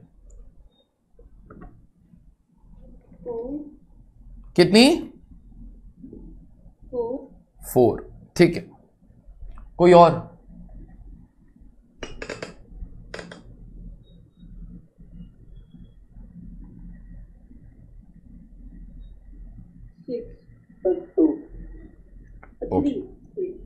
मेरे को किसी ने टू बोल दिया थ्री बोल दिया फोर बोल दिया सिक्स भी बोल ही दिया। एक्चुअली उसके बाद एक नंबर बच गया वन एक नंबर बच गया फाइव तो किसी ना किसी का तो करेक्ट फिर होएगा ढक्कन। अच्छा मेरे को ऑर्डर के अंदर बोलो। मेरे को बोलो फ़र्स्ट थिंग जो लेस करना ही चाहिए वो क्या है? लंच ब्रेक ओके तो यहाँ पे जरा लिख के रखो लंच ब्रेक अच्छा लंच ब्रेक जो है ना बेटा सम के अंदर देखो वो चीज़ वो लिखा हुआ है lunch break is 45 minutes technically actually अगर सपोज़ मैं वो सोचू ना sir I want to interpret every word perfectly sir okay तो एक्चुअली लंच दिन में एक ही बार आता है. They should have written lunch break and dinner break क्योंकि there are two shift no such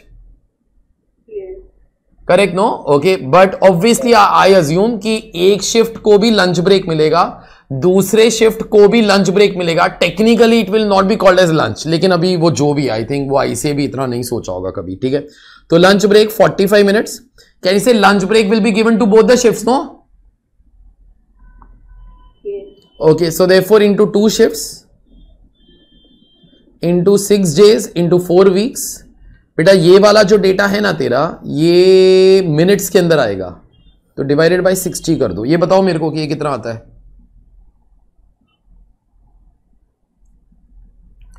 मेरे पास आज कैल्सी नहीं है। मेरे को जल्दी से बताओ ना प्लीज़ यार। थर्टी सिक्स आवर्स फिर दूसरा, कहने से ये जो मिसलिनियस ब्रेक वगैरह है ओके ये भी अपने को डिडक्ट तो करना पड़ेगा ना? Miscellaneous breaks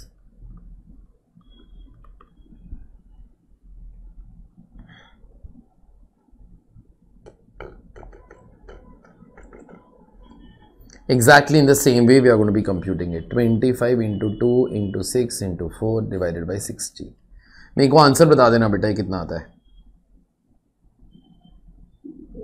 ट्वेंटी आवर्स अच्छा सुनो। बेटा ये वाला टाइम तो machines will only not be वो working because the workers are not there ठीक है? मैं ना क्या निकालने का ट्राई कर रहा हूँ? मैं डिनोमिनेटर निकालने का ट्राई कर रहा हूँ। मैंने उसके लिए तुम लोग को नोट भी दिया था कि all tell me properly okay अभी मेरे को जरा बोलो, बाकी चीज़ें देखो। Your aim is to find out कि अपनी पुअर मेंटेनेंस की वजह से कितना टाइम खोटी हो गया, ठीक है? उससे पहले ये तो पता करो कि अपने पास कितना टाइम था फॉर प्रोडक्शन तो ये दोनों टाइम तो लेस वो करेगा ही। इसके अलावा मेरे को जरा बोलो क्या क्या और लेस करो? Only for the denominator part मेरे को जरा बोलो। प्लान प्रिवेंटिव वो मेंटेनेंस कैन यू से वो तो मेरा ही प्लानिंग था कि मशीन्स को मेंटेन करेगा during that period so that time will never be available for production no is that okay for everybody तो वो वाला टाइम तो अपने पास इनफैक्ट हम लोगों ने टीपीएम इंप्लीमेंट करने के लिए तो ये वाला चीज़ वो किया होगा ना? ये अपनी इनएफिशिएंसी नहीं दिखाता। तुमको समझ में आएगा अपना जो इनएफिशिएंसी है ना वो ये तीन चीज़ों की वजह से दिखाई देना चाहिए। तूने मशीन को बराबर मेंटेन नहीं किया तो ब्रेकडाउन मेंटेनेंस होएगा। एक बार ब्रेकडाउन मेंटेनेंस एक मिनट ब्रेकडाउन मेंटेनेंस का मतलब समझ में आता है? हाँ। क्या होता है? मशीन खराब हुआ, उसके बाद रिपेयरिंग के लिए अपना कितना टाइम गया? तो ऑब्वियसली उसके बाद फिर मशीन को सेटअप करने के लिए भी अपना टाइम जाएगा। फिर उसके बाद जो पावर फेलियर है टेक्निकली वो अपनी गलती है को बोलते नहीं सर वो तो रिलायंस ने इलेक्ट्रिसिटी काटी अगर तेको मालूम है कि ऐसा वो होने वाला है then in that particular case you should try to have the power back you should try to be having the power backup तुमको इतना समझ में आएगा every great factory at least in India will have a power backup no बेटा machines चलती रहती हैं। Suddenly अगर सपोज़ इलेक्ट्रिसिटी वो चला जाएगा देर इज़ अज डेंजर की तरह मशीन भी खराब हो ही जाएगा। ओके सो so, इसके लिए तो यहाँ पर एक चीज़ और लेस होएगा। सिर्फ़ एक ही चीज़ और लेस होएगा। बोलो मैंने वो बोल दिया है। क्या लेस होएगा और? प्लान प्रिवेंटिव मेंटेनेंस लिखो plan preventive maintenance and that is 15 minutes per shift तो वैसे ही कंप्यूट करता हूँ। 15 into two into six into four divided by sixty twelve hours तो मैंने सोचा होएगा मशीन से इतने घंटे के लिए काम करेगा बेटा? मेरे को ये आंसर बताओ ना जरा। थ्री वन सिक्स आगे working note two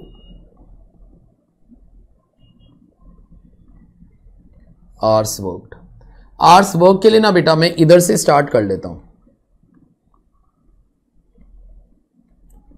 Planned production time three one six hours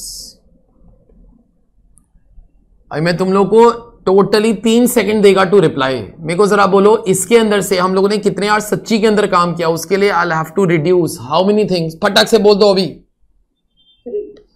three things तो कैन वी से ये तीनों तो अपनी गलतियाँ है ना बेटा? ओके तो यहाँ पे ये तीनों चीज़ें तो वो लिखो जरा प्लीज़ तो यू ऑल राइट डाउन और वो डायरेक्टली मेरे ख्याल से वो टोटल के तौर पर ही दिया हुआ है. Six fifteen four six fifteen four मेरे को बताना जरा कितना आता है. Twenty one twenty two ninety one hours आता है.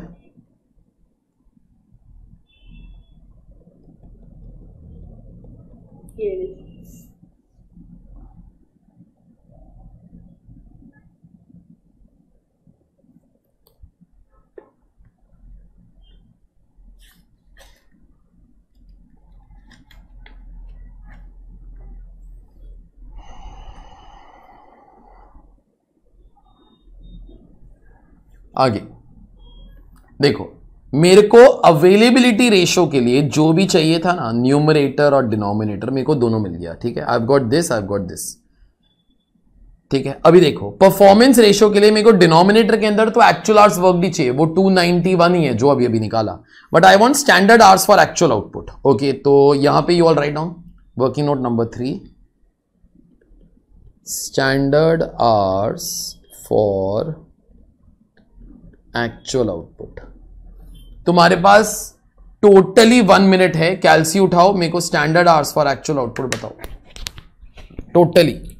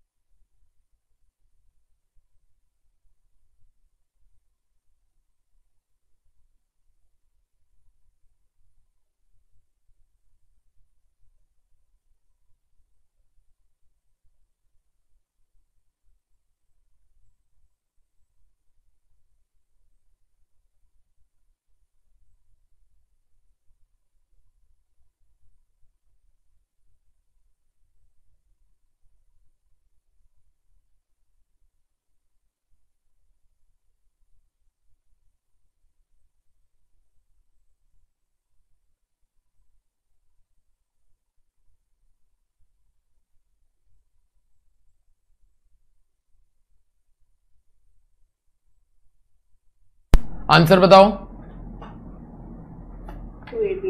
288 आ जाएगा। देखो, आप लोगों ने कितने यूनिट्स बनाए? 120 प्लीज़ 115 मत लेना।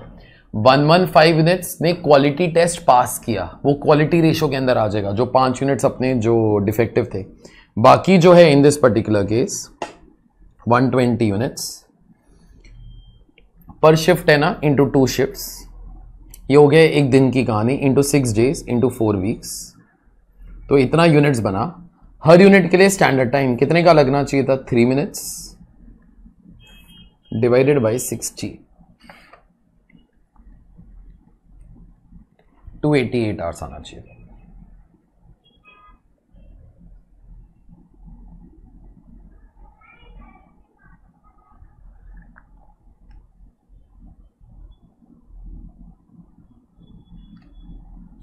चलो I think we are almost ready to calculate all the ratios and everything तो अभी जरा लिखना calculation of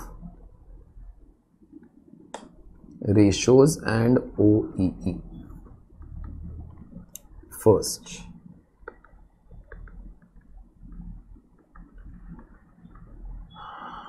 availability ratio.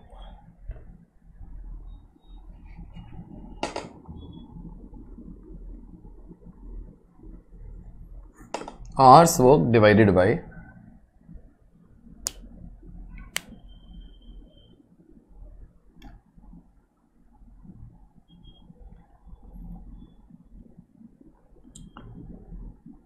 planned production time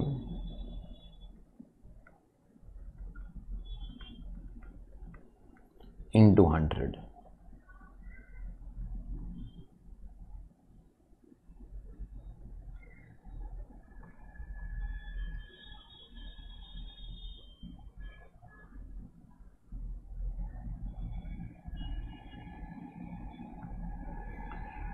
तो this will be 291 divided by 316 into 100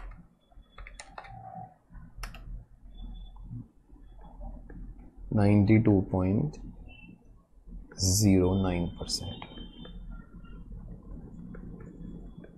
Standard 90 percent so obviously this ratio is satisfactory.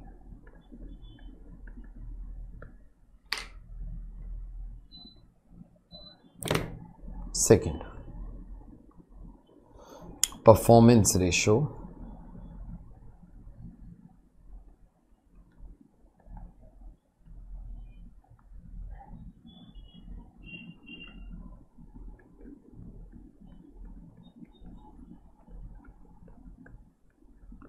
standard hours for actual output divided by actual hours worked into 100 भी आएगा बेटा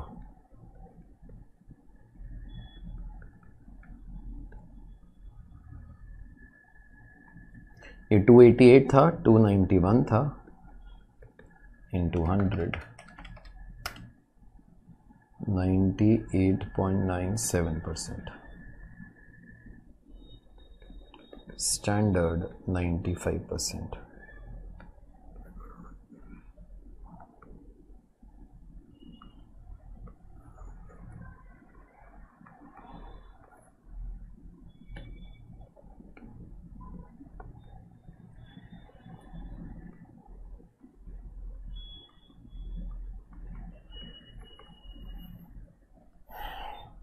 उसके बाद sorry last वाला quality ratio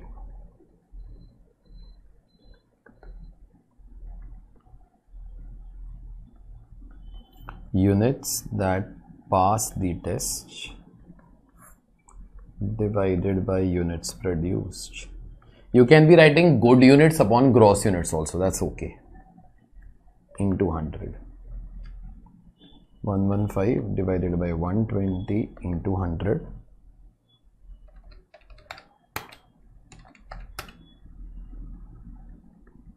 95.833 percent.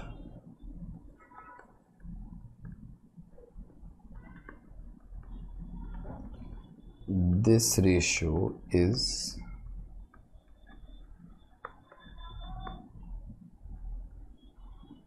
below the standard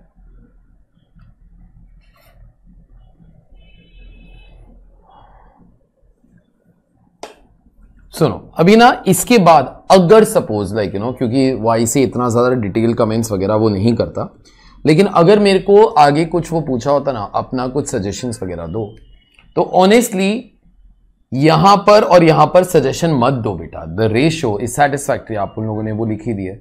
Quality ratio is bad it could be that some part of the machine is not proper due to which the quality of the product is suffering company should introspect call the technical people to find out that what is the fault in the machine and replace that part तुमको समझा जो मैं बोला? Yeah. ये नहीं हो रहा कि मशीन की वजह से वर्कर का एफिशियंसी अफेक्ट हो रहा है। तो मशीन चल तो बराबर रहा है क्योंकि अपना पिछला वाला जो रेशियो है वो तो बराबर है। लेकिन मशीन चल रहा है तो गुड्स बना रहे हैं तो गुड्स बराबर से नहीं बने ये नहीं है कि मशीन स्लो चल रहा है। तुमको समझा जो मैं बोला? क्योंकि अगर मशीन स्लो चलता मेरे को आगे जरा बोलो।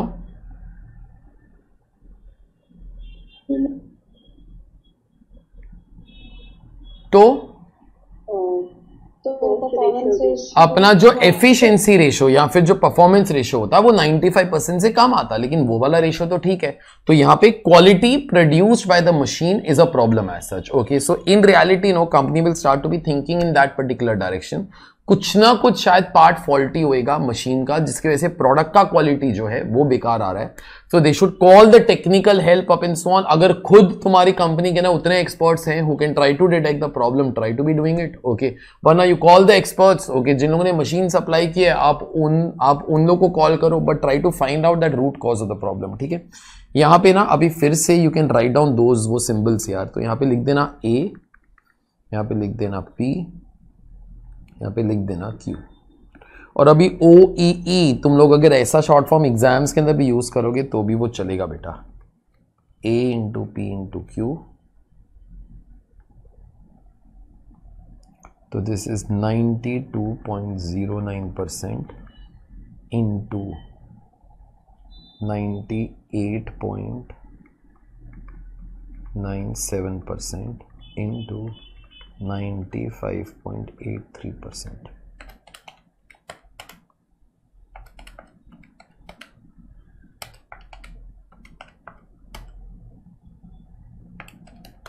Eighty five point six six आता है क्या?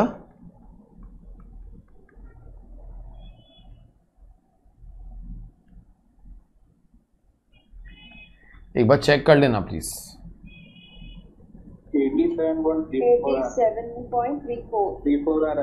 एक minute.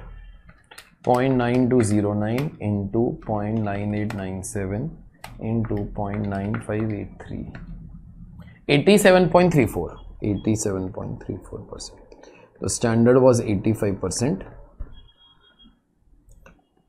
This ratio meets the ऐसे लिखना वर्ल्ड क्लास स्टैंडर्ड बस ऑफ़ 85 परसेंट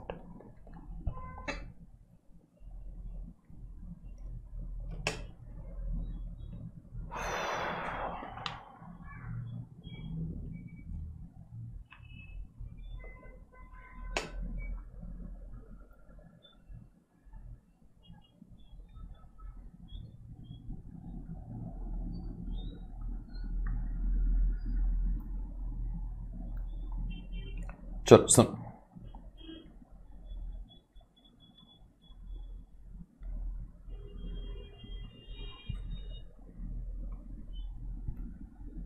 एक काम जरा करो ना, यहाँ पे you note about quality you all can write down suggestion not ask लेकिन ठीक है, मेरे को लगता है कि एग्ज़ाम्स के अंदर ऐसा वो लोग पूछ भी सकता है। Suggestion to improve quality ratio.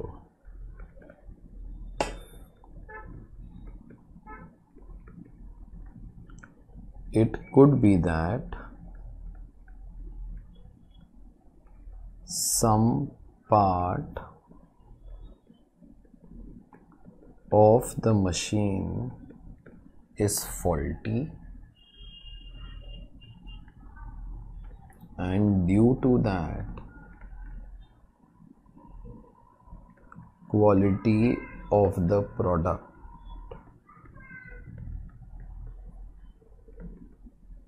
Is suffering.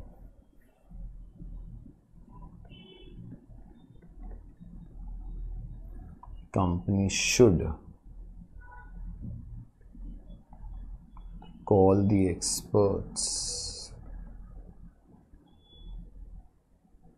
to detect that faulty part.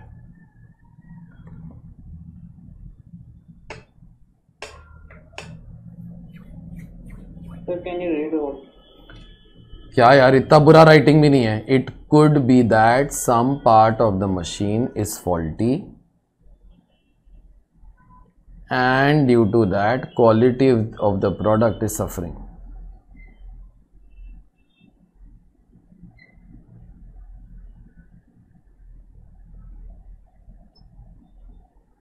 company should call the experts to detect that faulty part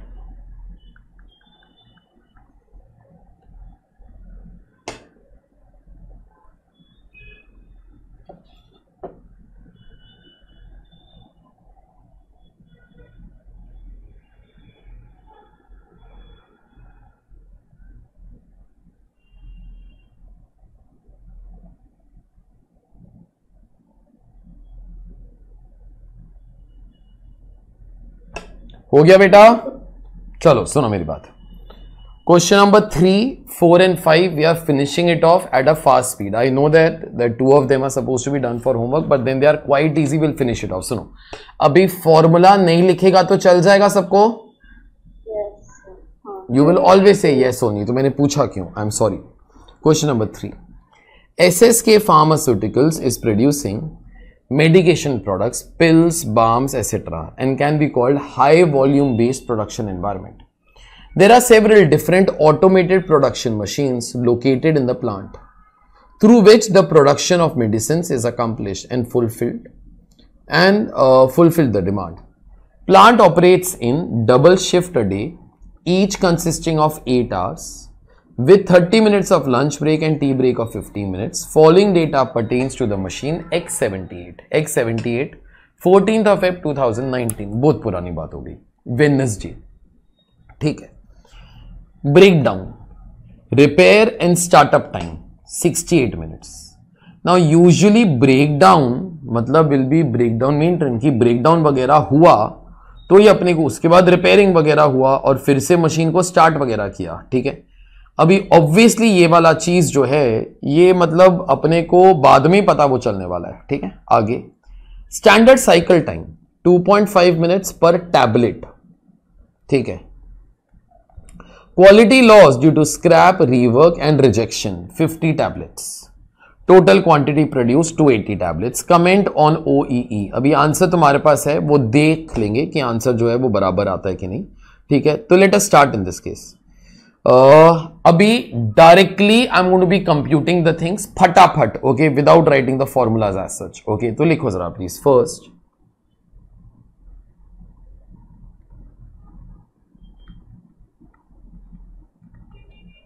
availability ratio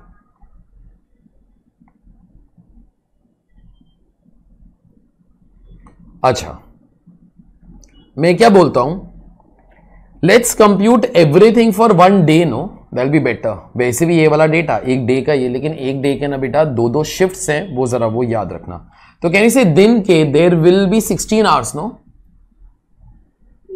ठीक है तो यहाँ पे लिखना सिक्सटीन तुमको मिनट्स के अंदर कंप्यूट करने का है बेटा मेरे को वो भी चलेगा ठीक है? अच्छा।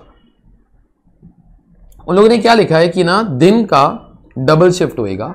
ऑफ़ एट आवर्स बोले तो sixteen with thirty minutes of lunch break and tea break of fifteen minutes तो can you say I'll be forty five minutes per shift मतलब in this case I'll be one and half hour no in sixteen hours okay so therefore यहाँ पर I am writing 45 minutes into two divided by 60 तो ये तो अपने को directly less करना पड़ेगा। मैं क्या बोलता हूँ एक काम जरा करें क्या? मिनट्स के अंदर वो करें क्या? बी बेटर फॉर मी यार। हाँ क्योंकि ना ये वाला भी जो टाइम है ना ये 68 वो मिनट्स दिया हुआ है ठीक है? तो मिनट्स के अंदर ही करता हूँ। तो यहाँ पे you can write down into 60 तो चलो ठीक है फिर। दैट्स ओके ठीक है? अच्छा अभी क्या करना पहले जो डिनोमिनेटर है ना एक बार जरा वो कंप्यूट कर ले बेटा।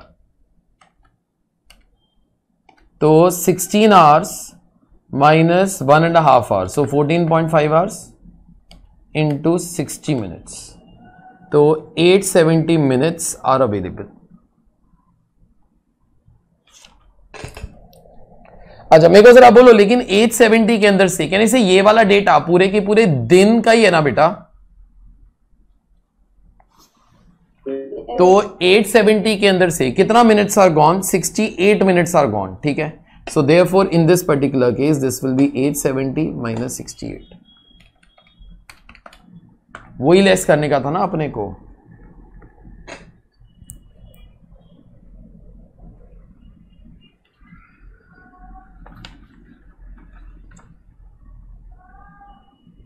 एट सेवेंटी बराबर।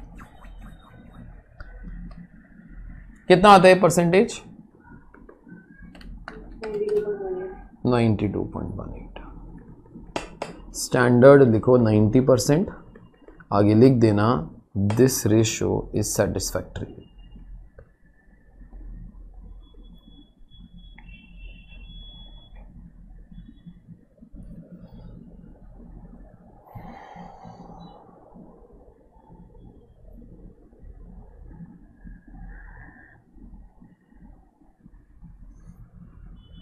ठीक है, उसके बाद। अवेलेबिलिटी रेशो उसके बाद परफॉर्मेंस रेशो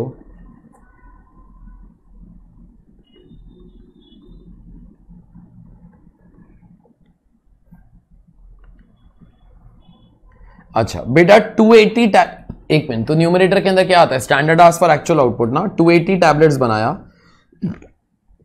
हर टैबलेट के लिए कितना टाइम वो लगना चाहिए? 2.5 ना। डिवाइडेड बाय कितना टाइम लग गया? 802 minutes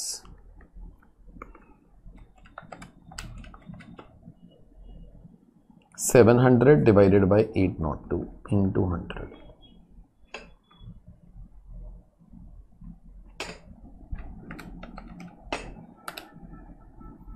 eighty seven point two eight percent standard 95%.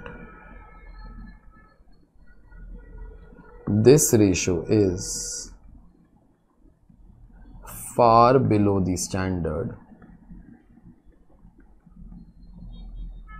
It means that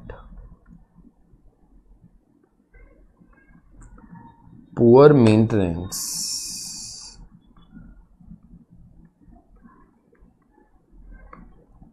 of the machines is decreasing the efficiency.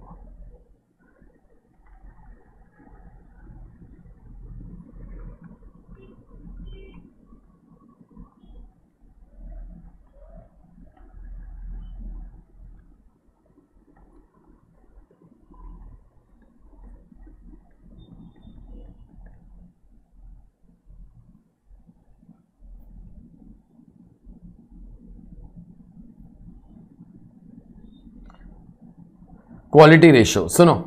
कितना यूनिट्स प्रोड्यूस हुआ बेटा? 280 उसके से quality loss due to scrap rework and rejection that is वो 50 तो कहने से जो good units quality test pass हुआ those will be 230 no okay so therefore 230 upon 280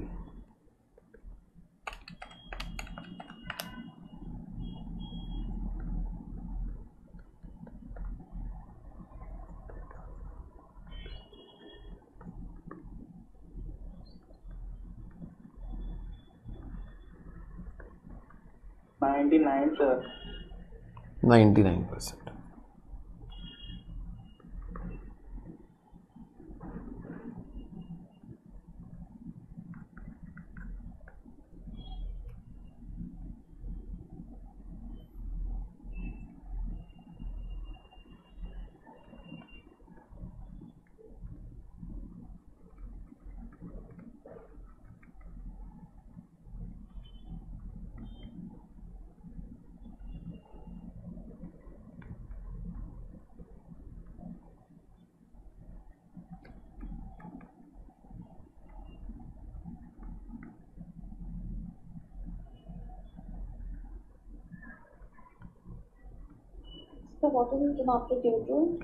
due to machines एक minute due to poor maintenance of machines होना चाहिए. Sorry due to poor maintenance of machine या फिर ड्यू टू मशीन्स ऑल्सो वो ठीक है, चलो. Due to poor maintenance of machines तो ऐसा लिख दो. Due to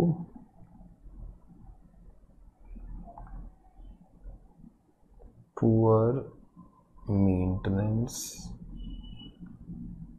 of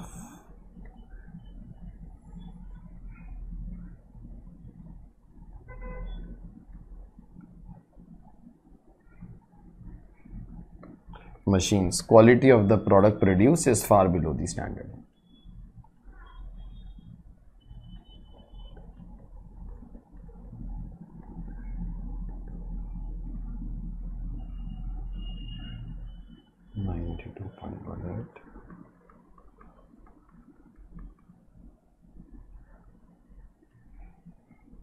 Seven.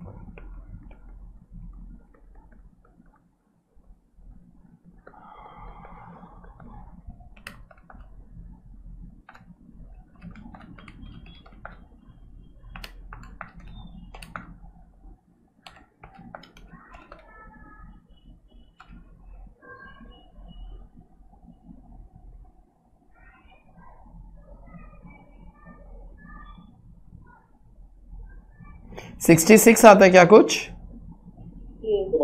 ठीक है। हाँ अपने बुक के अंदर आंसर वो बदल देना। So that's what I was saying also कि आईसी ने पहले ना वो अवेलेबिलिटी रेशियो वो लोग अलग, वो गलत तरीके से तो वो डिफाइन करते थे। Now those guys have rectified so therefore this is the correct answer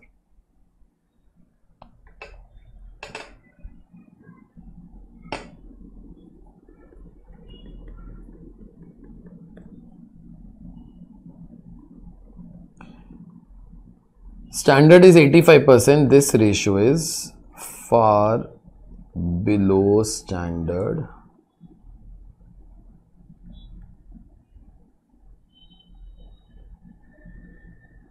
Which is mainly due to poor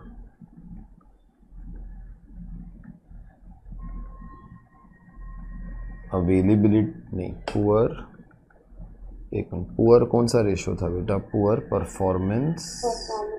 And quality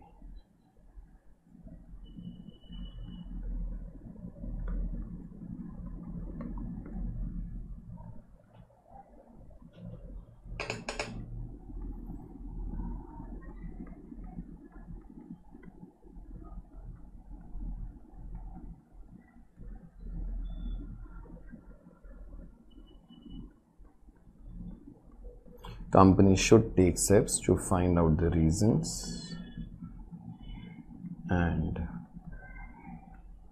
bring it to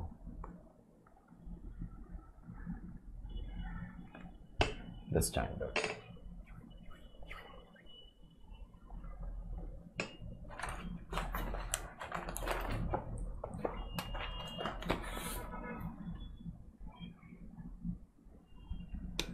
ये कर लो, मेरे को बता दो, फिर नेक्स्ट क्वेश्चन कर लेते हैं।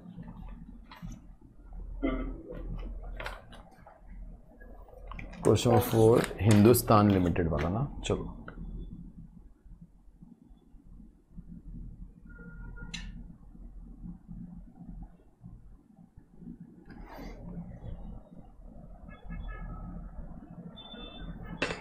अच्छा Hindustan limited supplies the following information to vital equipment used in production activity for April 2022. Time worked during the month 210 hours. ये question ना out of all the questions is the easiest of all. Okay. Total production during the month 2800. Number of units accepted out of the total production 2520. Standard time for actual production 180 hours.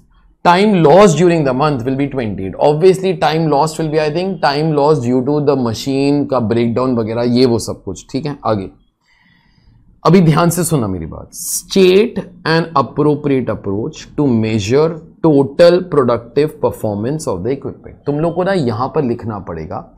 If we want to measure how is our maintenance program doing we have to compute in this case overall equipment effectiveness you will have to try to discuss all those things that i discussed वो ना तुम्हारी book के अंदर यहाँ पर मैंने शुरू के अंदर सब कुछ ये प्रिंट किया हुआ है ठीक है ओ ई के बारे में तो यहाँ पे ना आप लोग क्या करो यहाँ से लेके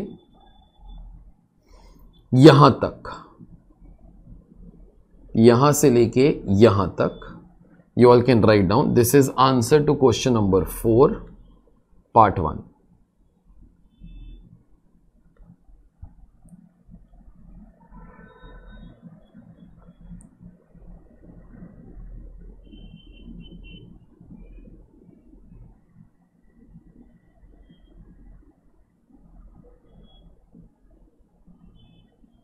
अच्छा तो यहाँ पर भी लिख ही देना सी पेज 20.1 आगे quantify the total productive maintenance performance of the above maintained equipment by using the approach stated in one above तो यहाँ पे आपको OEE जो है बेटा कंप्यूट करना पड़ेगा ठीक है वो हम लोग कंप्यूट कर लेते हैं and comment on the effectiveness of the maintenance department. Okay fatafat let's try to be doing this. Okay, this is question number 4 part 2 I am writing directly A now ठीक है? अभी ना इस क्वेश्चन के अंदर डायरेक्टली एवरीथिंग इज़ गिवन एक बार sum पढ़ लो। मेरे को बोल देना availability ratio will be what upon what सोच के, अपने पास अक्कल है फिर भी टाइम भी है। सोच के मेरे को जरा बोलना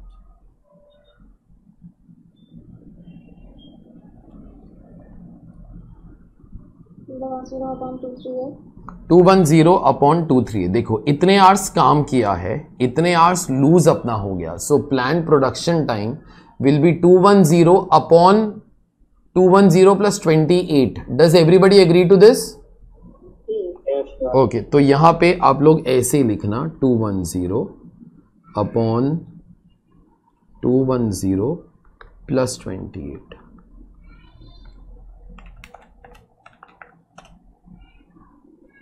eighty eight point two four percent. उसके बाद परफॉर्मेंस रेशो बेटा डायरेक्टली है अपने पास। कितना आवर्स लगना चाहिए था? 180 कितना आवर्स लग गया? 210 इंटू हंड्रेड लिखने का है तो लिख देना बेटा। 85.71 quality two five two zero divided by two eight two zero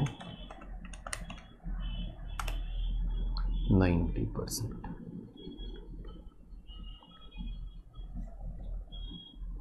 part third एक नहीं ओ ई ई अपने को कंप्यूट करने का, उसकी तो वाट लगी हुई है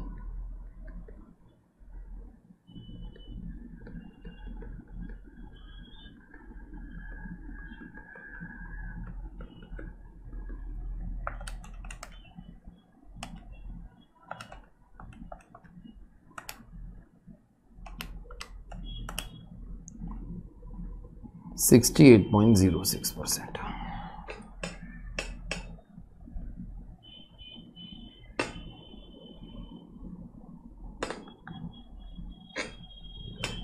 टाइप करेगा फ़र्स्ट टाइम फॉर टुडे कई लोगों को मेरी हैंडराइटिंग के साथ तो दिक्कत है।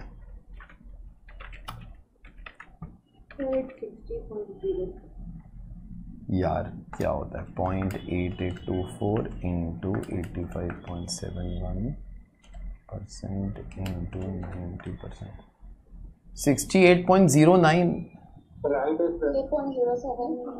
ये बराबर है ना? हाँ। ठीक है बेटा ठीक। है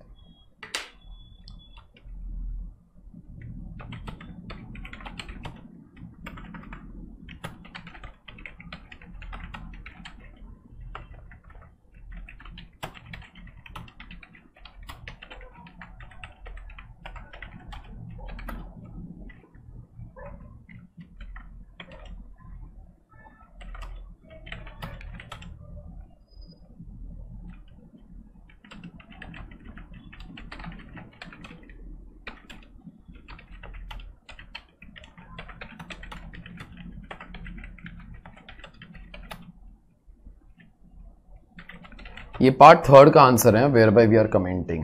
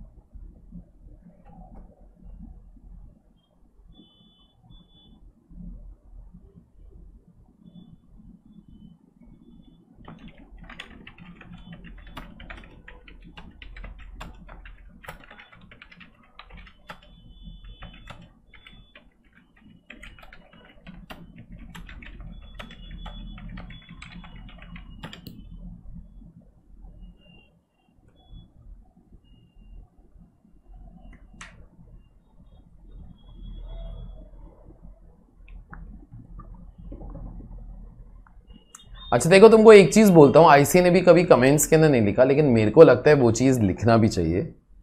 अगर अपना कभी क्वालिटी रेशो पुअर है can we say even R M वाला जो प्रोग्राम है विल गेट अफेक्टेड नो क्योंकि क्वालिटी ऑफ़ द प्रोडक्ट्स जो बन रहा है, वो अच्छा नहीं बन रहा बेटा, वो वाला जो रेशो है, वो सिर्फ़ 90 परसेंट है। So therefore due to this even the T Q M program will be suffering okay so that line at least I try to give you over here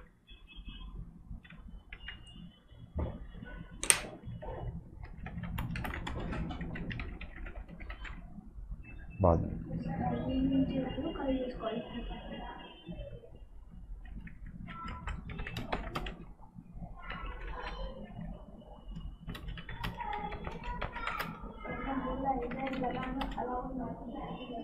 ठीक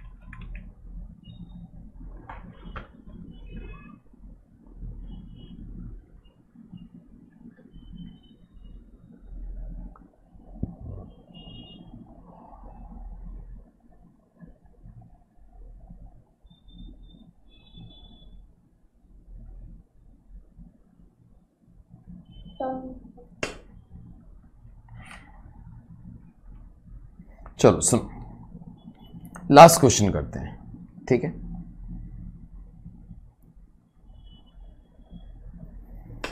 Question number five this is actually almost similar to your question number three I think that you have done almost वैसा ही है। Okay let's do it APZ company manufactures spare parts that can be called as high volume based manufacturing environment. वही line है बेटा. The company is using a system of TPM for maintaining and improving the integrity of manufacturing process. There are several different automated manufacturing machines located in the plant through which the manufacturing of spare parts is done and supplied to cater to the demand in the market. Okay.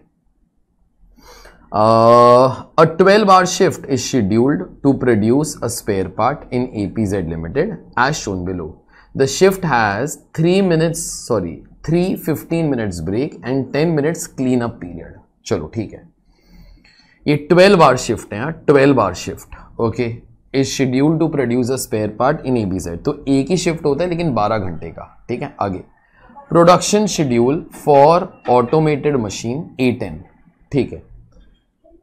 Cycle is ten seconds cycle मतलब cycle time cycle time मतलब standard time for one unit ठीक है? वो ten seconds है. अगर चाहो तो आगे वो लिख सकते हो. Standard time for one unit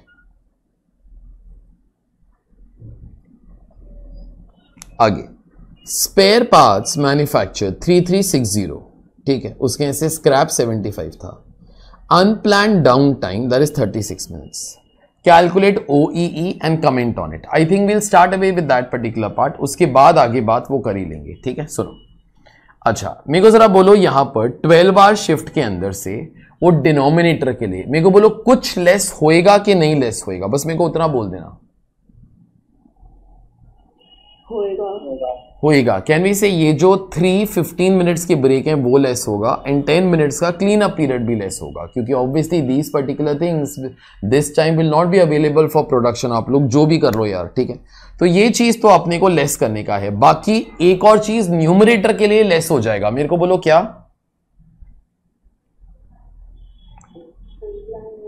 unplanned down time तो डिनोमिनेटर से न्यूमिनेटर तक पहुँचने के लिए आप लोग वही वाला टाइम लेस करते हो ना, जो पुअर मेंटेनेंस की वजह से लेस वगैरह होता है। ओके तो राइट डाउन प्लीज़ लिखो। Part one availability ratio is equal to मैं मिनट्स के अंदर ही अभी वो कर रहा है यार। मेरे को अक्ल वो आ गई वो पिछला करके। ट्वेल्व इंटू सिक्सटी इसके अंदर से एक 45 मिनट्स का ब्रेक जाएगा। और एक यहाँ पे क्लीनिंग टाइम भी जाएगा 10 मिनट्स का। एक बार ज़रा पहले डिनोमिनेटर का आंसर अलग से निकालना।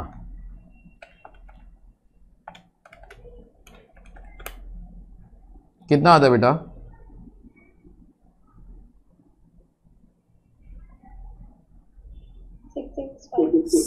सिक्स सिक्सटी फाइव ना? ठीक है।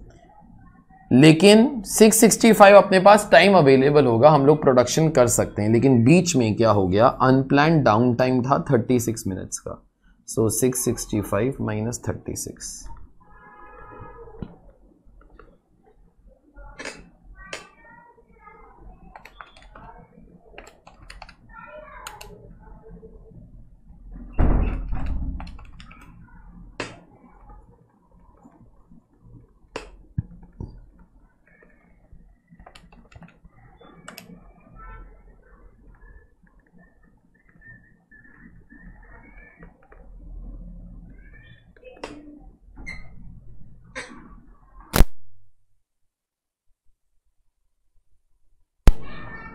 आगे। Five nine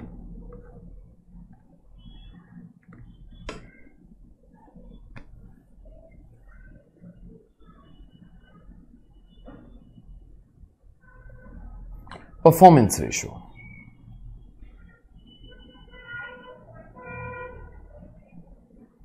performance ratio तो बेटा, हर यूनिट के लिए टाइम अपने को कितना लगना चाहिए था? टेन सेकेंड्स अभी मिनट्स के अंदर कन्वर्ट वो कर ही लेंगे। कितना यूनिट्स बनाया बेटा? Three three six zero three three six zero हर के लिए ten seconds divided by sixty कर लेता है तो मिनट्स के अंदर आ जाएगा।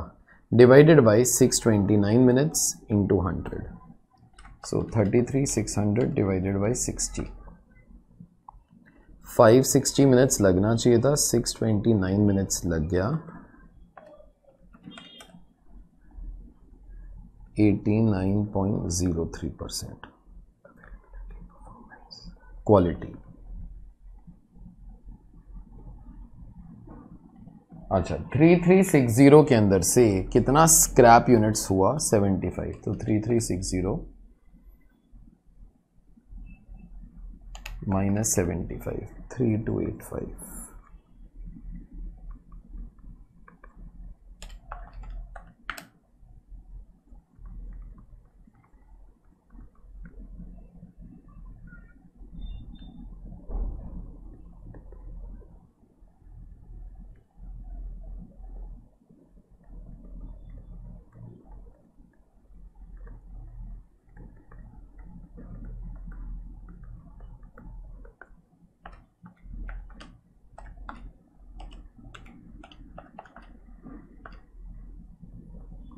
ये 82.33 के आसपास आता है।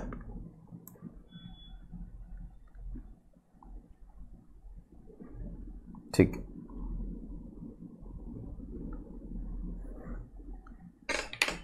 अभी it is not very close to 85 five but it is not very far away also so if you will try to be using those particular words also we will give the credit for having the first ratio being met okay? But then the other two ratios are bad due to which O E is not doing that good okay तो यहाँ पे अपने को वैसा ही comment जो है तो वो डालना पड़ेगा। hmm, लिखो।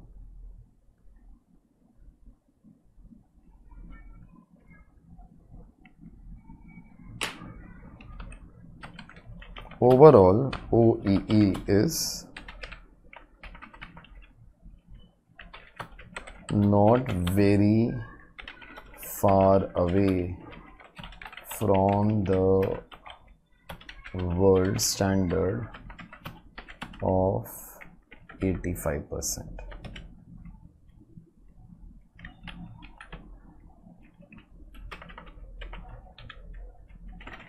Company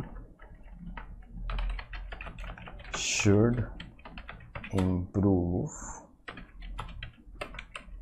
its performance. Of maintenance. Especially as far as efficiency.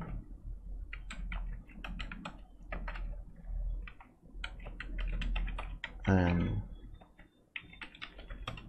quality go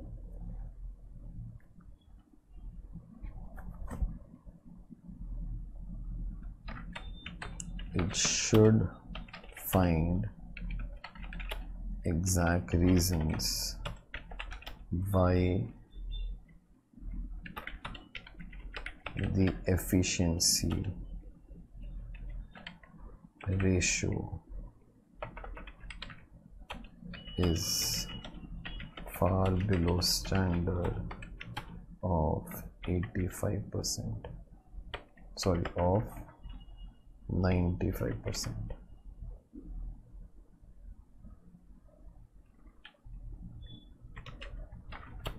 it could be due to poor maintenance that machines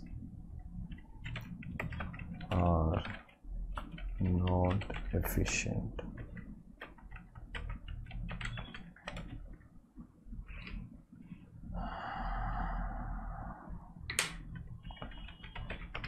moreover even the quality ratio is slightly lower than standard set at 99%.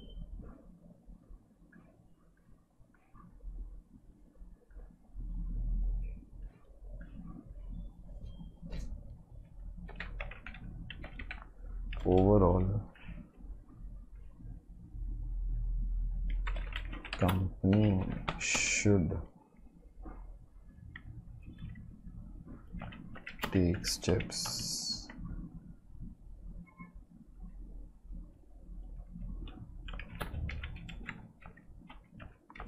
By rectifying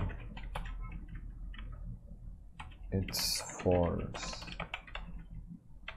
maintenance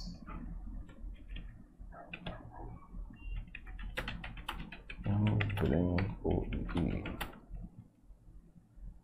to 85%.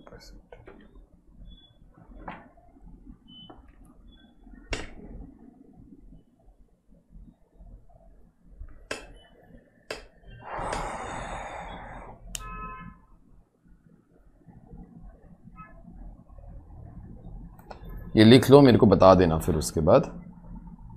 एक last party बस मेरा बाकी रहेगा।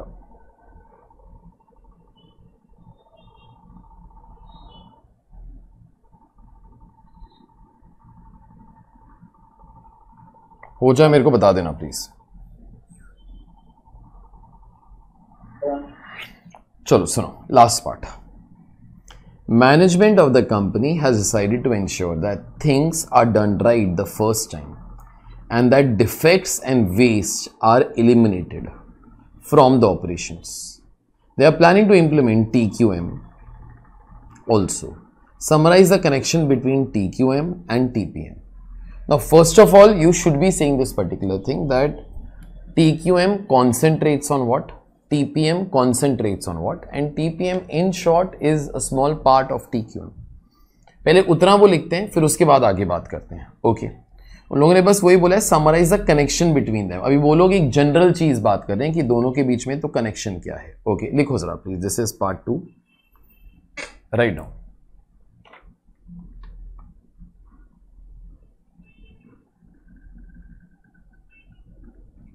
right now TQM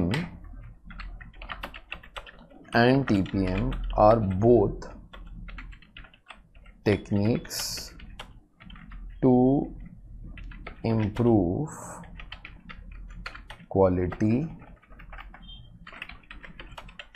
Although TQM concentrates on quality of the products and TPM on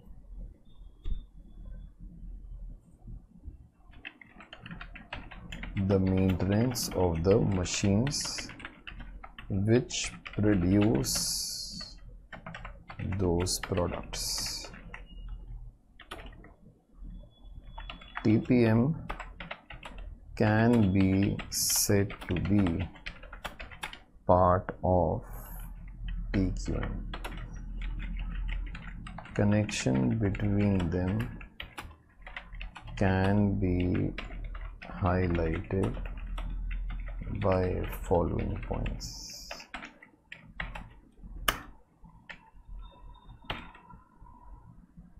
इतना लिख लो पहले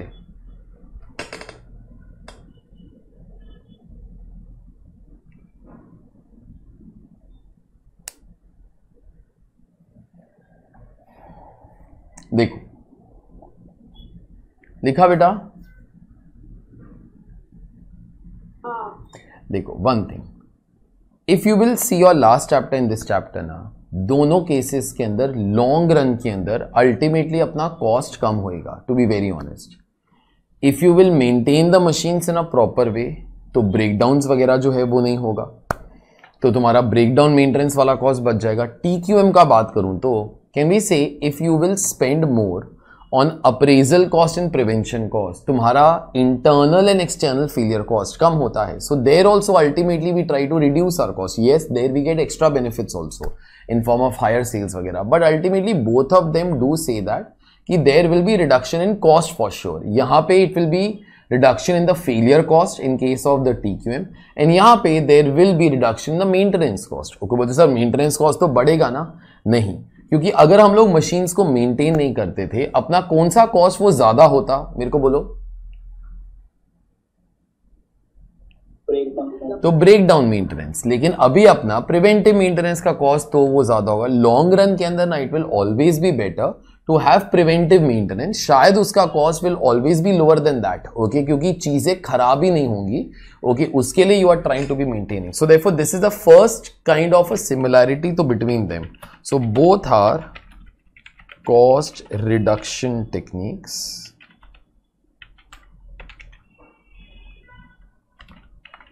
while TQM aims to reduce cost of poor quality TPM aims to reduce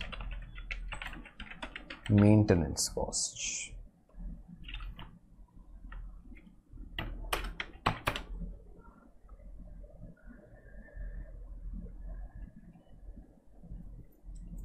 Second, so now, both of them know are always long run philosophies. इतनी जल्दी result किसी चीज़ से भी नहीं दिखाई देगा, बेटा। आज फॉलो करेगा, शायद दो या तीन साल के बाद अपने को यहाँ पे इफ़ेक्ट दिखाई देंगे। तो यहाँ पे लिख सकते हो both are long term philosophies which give result over a period of time and not immediately.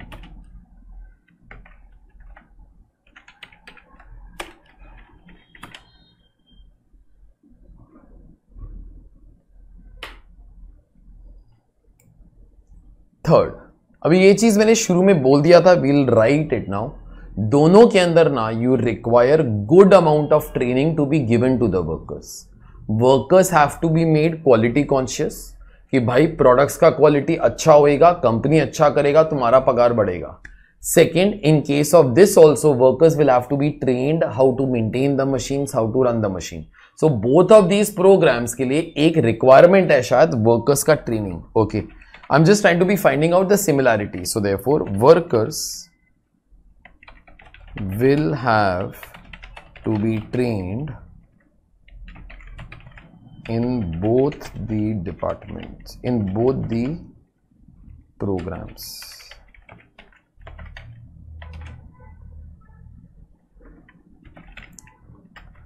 Unless workers cooperate in this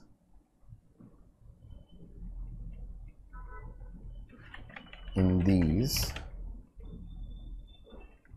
it is not possible to achieve results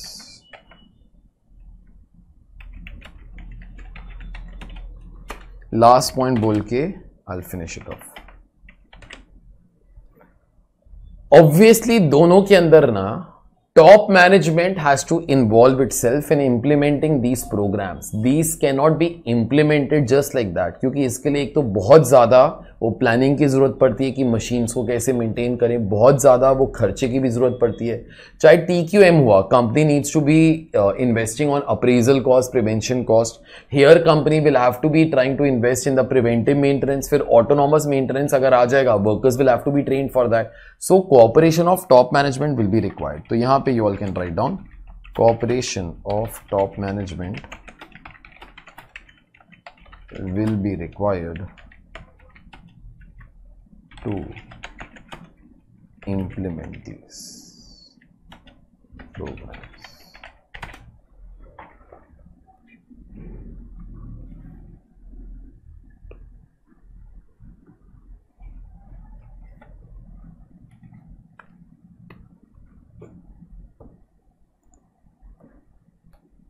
ये तुम्हारा part two of the answer था ठीक है? चलिए। चलिए गई so we'll start away with the things अपना जो टीपीएम का जो इंट्रोडक्शन था प्लस अपना calculation of O E that was done in the last lecture so TPM is standing for total productive maintenance अपना एम जो है वो एक ही है in that particular M is let's try to make the machines let's try to mean uh, let's try to maintain the machines in such a way so that they give us a performance that we all had thought so for that, what we got to be doing? We got to be doing preventive maintenance. Instead of breakdown maintenance, we got to be doing preventive maintenance. So preventive maintenance matlab at regular intervals.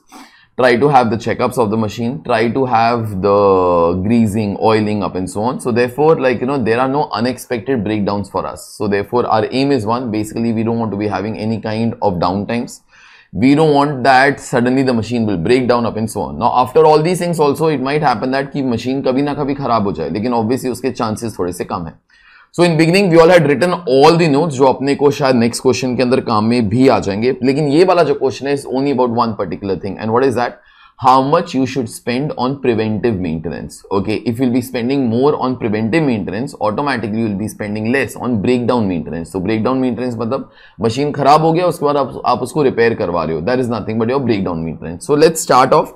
This is fully a numerical question, no comments or anything. Okay, let's start question number six, please. The budget estimates of a company using sophisticated high-speed machines based on normal working of 50,000 machine hours during the year 2020 are as follows. Okay. Sales 1 lakh units, 100 lakhs. Raw materials 20 lakhs. Direct wages 20 lakhs. Factory overheads variable 10 lakhs. Fixed 10 lakhs. S&D variable S&D fixed administration fixed. So in all sales was 100 lakhs. Total cost was 80 lakhs. So profit in this case was supposed to be 20 lakhs. Okay. Since the demand for company's product is high, the possibility of increasing the production are explored by the budget committee. Now what this line says that there is good demand of the product. So in case you all can produce more, sales is not a problem because demand is very high. Okay, the technical director stated that maintenance has not been given due importance in the budget. Okay, and if preventive maintenance is introduced, the breakdown repair cost and the hours lost due to breakdown can be reduced and consequently production can be increased. Okay, just read this line once more please.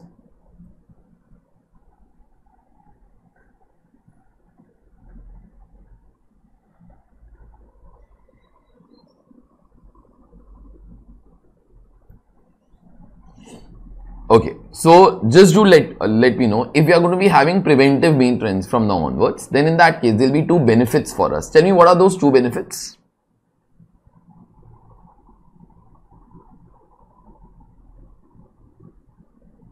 What are those two benefits in this line? Faster, guys, faster, faster. The breakdown hours will be reducing. Just let me know one thing. If breakdown hours will reduce, how will it help our business? Dull people,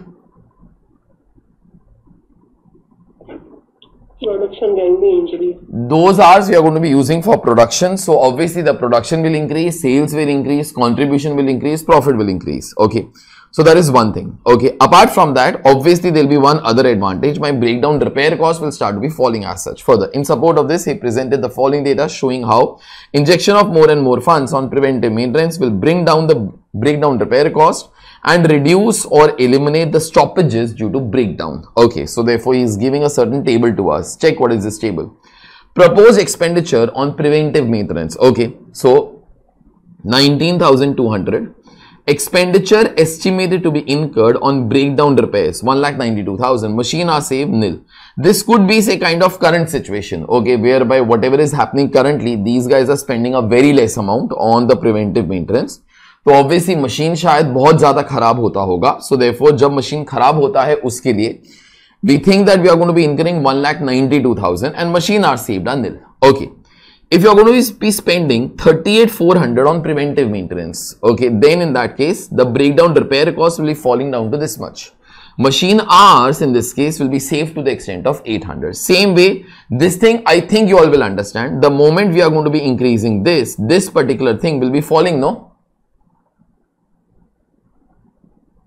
Correct, no? Okay, again. Using the differential cost and contribution concept, advise the management up to what level breakdown hours can be reduced to increase the production and maximize the profit of the company consistent with minimum cost. Okay. So what these guys are saying, like, you know, that uh, advise the management up to what level breakdown hours can be reduced to increase the production and maximize the profit of the company consistent with minimum cost. They're asking you that, you know, at what level, okay, of preventive maintenance, it will be most beneficial for us. Okay. You know, you all had one chapter in CA Inter that you all might not remember called as receivables management. You all remember that chapter? At least the name you all remember? Like, you know, the thing was that how much credit period we all should give to the customer. So, whenever we try to increase the credit period up and so on, then sales will start to increase, contribution will increase, but then the interest that I'm going to be losing will also be increasing. Bad debts will also be increasing up and so on. Now, I don't want you all to remember that particular chapter, but जो भी आप लोग वहाँ पे like you know आपका solving pattern था same pattern I am trying to be applying over here okay I am just trying to be thinking कि मेरे लिए सबसे अच्छा क्या है okay let's start to be doing it तो लिखो जरा please evaluation of the options.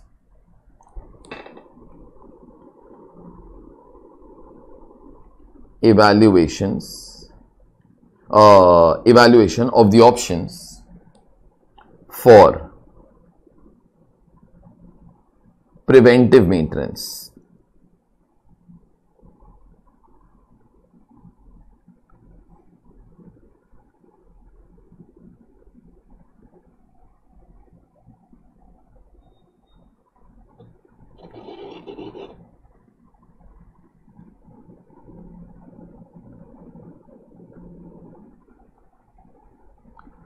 एक सेकेंड ना। हाँ। तो machine hours safe currently it is nil propose के अंदर एक 800 है 1600 है 2400 है 3200 है 4000 है। कॉलम्स बनाने का होएगा तो अप्रोक्सीमेटली हाफ़ साइड से थोड़ा सा ज़्यादा, या half side will also be okay only I think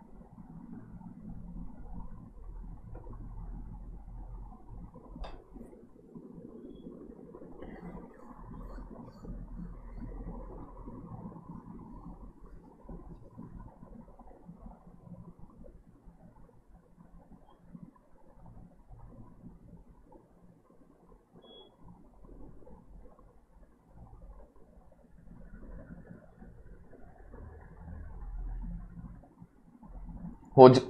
ये हो गया बेटा Yes, चलो सुनो मेरी बात अभी what I'm going to be doing ना ध्यान से सुनना whatever is my intention my intention is very simple I will try to compare I will try to compare all the options with the current option okay when I'm going to be doing that my next line is going to be looking very stupid but we are still going to be doing that so as compared to the current situation how many machine hours are saved? Extra machine hours saved. Compare everything with the first option. So obviously first option is nil no? So therefore this as it is will be remaining like that only. We are comparing everything with the first option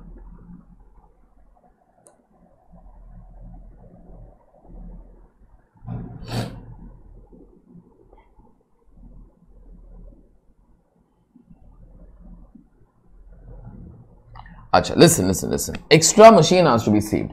Now, just one answer I require from you all, and then I will try to solve the entire question by myself only. Okay. Tell me one thing. If you are going to be saving 800 hours, how much extra contribution will I get? Because fixed cost in any case will remain fixed only. So if hours I get extra, I'll be able to produce more, I'll be able to sell more, I'll be able to get contribution more. So therefore, just one thing that I want from you all is that if 800 hours are available extra, how much extra contribution will I make? See this table over there and start to be computing. Okay, you will require this data. You might, uh, no, you only require this particular data. You will think yourself, I give you one minute.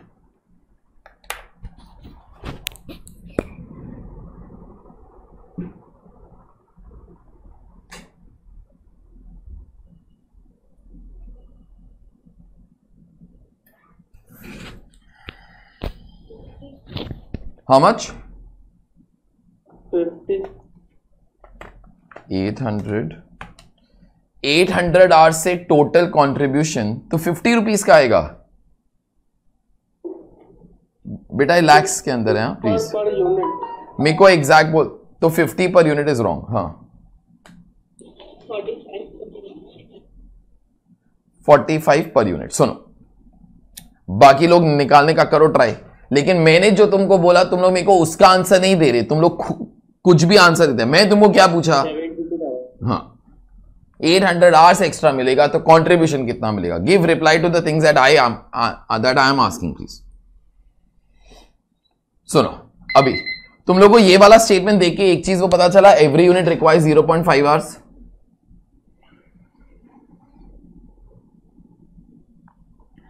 Yes, sir. क्योंकि यहाँ पे ये चीज़ वो लिखा हुआ था that by working for fifty thousand machine आज we can be producing one lakh units okay so therefore in this particular case every unit will require 0.5 point five hours so if I get eight hundred hours extra I be able to produce how many units extra 1600 and then you can try to find out contribution per unit now that is whatever I see as done all fully correct but I I don't want be doing that I not copy them I do the easier way out what is the easier way out boss these are extra machine are saved you want be finding out extra contribution no so you can directly multiply by into contribution per machine hour you'll be able to get extra contribution directly i want to be doing like that only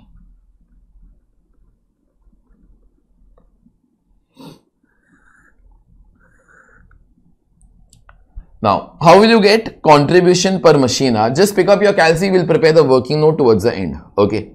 So, uh, contribution is sales minus variable cost. So, 100 minus, obviously this will be variable, this will be variable.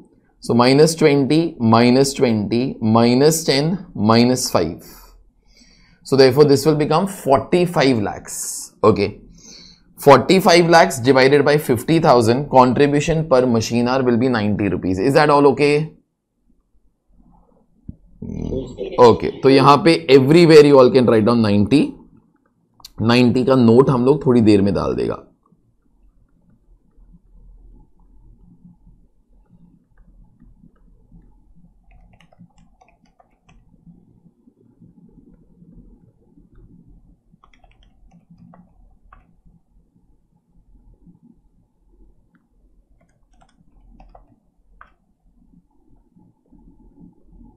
I'm calling this as Roma number one. This is my benefit as compared to the current situation. Okay. Now there is one other benefit also. At least name me that particular benefit. If I'm going to be incurring more on preventive maintenance, I get one other benefit apart from the extra contribution. What is that other benefit?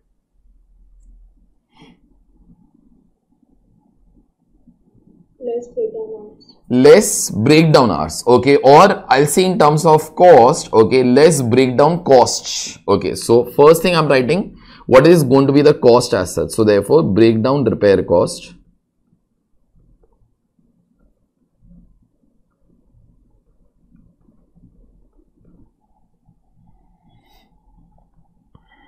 One lakh ninety two thousand 153 600 115 200 76 800 57 600 and this will be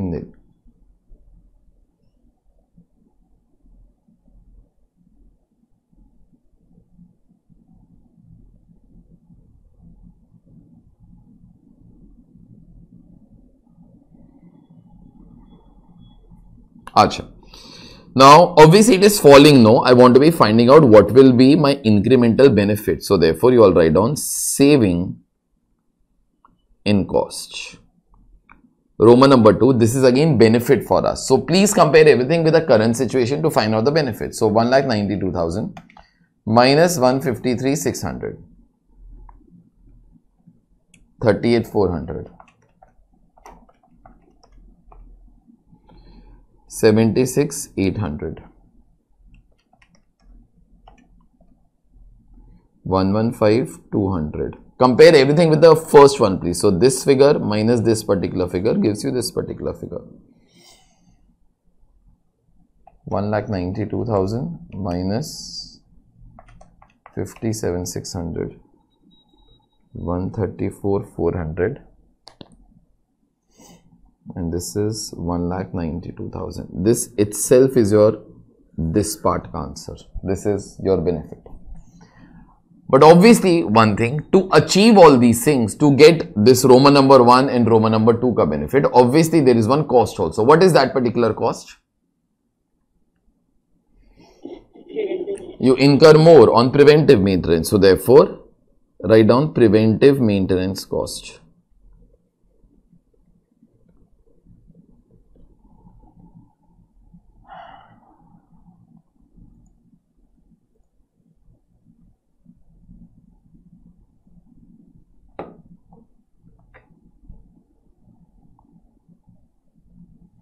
So that is 19200.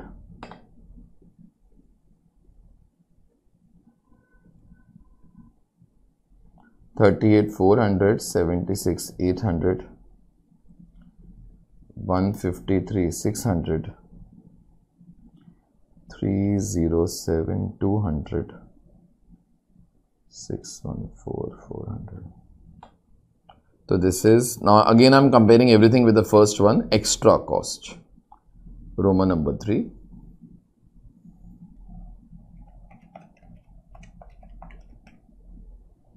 So this is 19,200. 57 600 134 400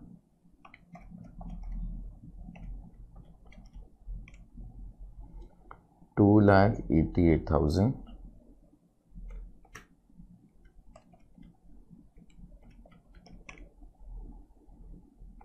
five ninety five two hundred. My evaluation is altogether done. So everything is over. Just I'm trying to be now finding out the net benefit. Okay, so therefore net benefit. Now Roma number one in this case is my benefit. So I'm adding it. Roma number two is my benefit. I'm adding it. Roman number 3 is my extra cost. I am subtracting it. Okay, just find out the net benefit, please. Okay, based upon that, we will be writing the conclusion over here. I'll require two lines for it. And then I'm making that working note till, till that time, please, you all finish off the work, please. calculation of contribution per machine hour.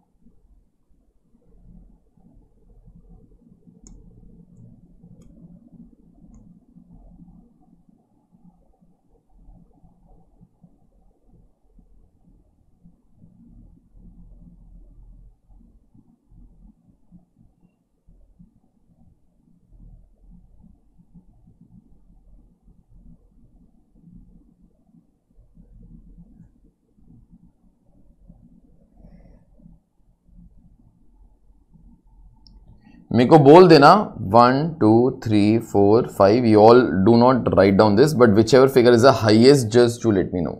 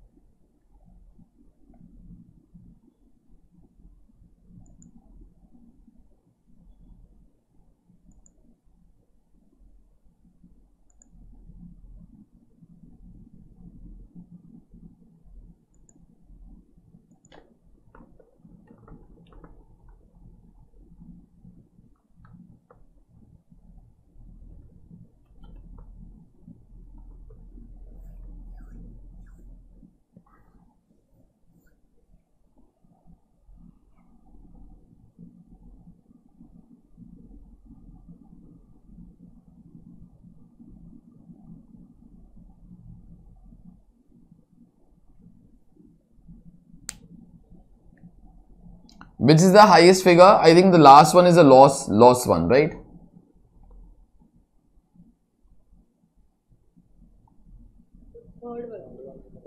The third wala and that figure is how much? 196 196 800 so in 196 800 you're getting highest profit. And there you are spending this much on preventive maintenance. So that is what i'm going to be writing over here so company should spend rupees 153 600 on preventive maintenance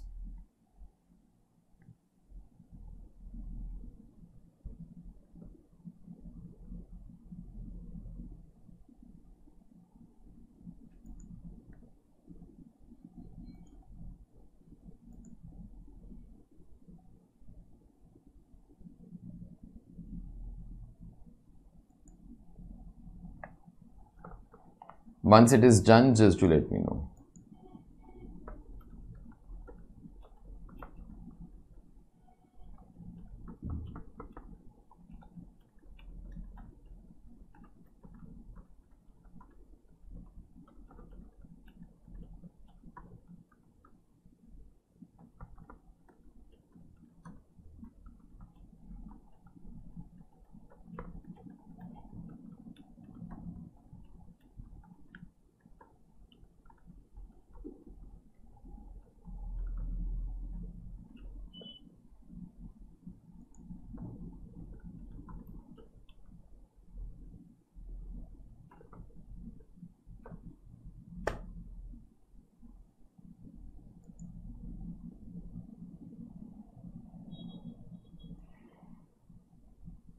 Done, beta? Okay. Working note one is also done. ठीक है चलो सुनो uh, अपना question number seven पे आ जाओ this is suppose to be a case study question But most of the things that you will require for this kind of a case study now, we all had written the summarized version of that on the first day itself. Okay, whatever notes that you all had written. So please do ensure one thing that those notes are there with you, please. Okay, in the beginning we all had written those particular notes. Okay, so let's start. Now, follow please. Super Refineries Limited is a leading oil refining company. Operating in India, the company has three plants, one each situated in north, south and west. The company has refining capacity of 30 million barrels. The company is currently enjoying a 40% share in the domestic market. Okay. So, it's a oil refining company, something like your Reliance Petro or something. Okay. So, they have three plants. One is north, one in north, south and west of India. Their capacity is this much. Okay. And they have 40% share in the domestic market. The plants run all the 365 days in the year and operate at 100% of the capacity. Okay. The company does not have any maintenance schedule. Okay. Uh, does not have any maintenance schedule in place for its plant and machinery. Any repair or requirement of the plant is carried out on ad hoc basis. Okay. ये वाला line एक बार जरा वो फिर से पढ़ना please अच्छे तरीके से पढ़ना तो तुम लोग को समझ में आ जाएगा।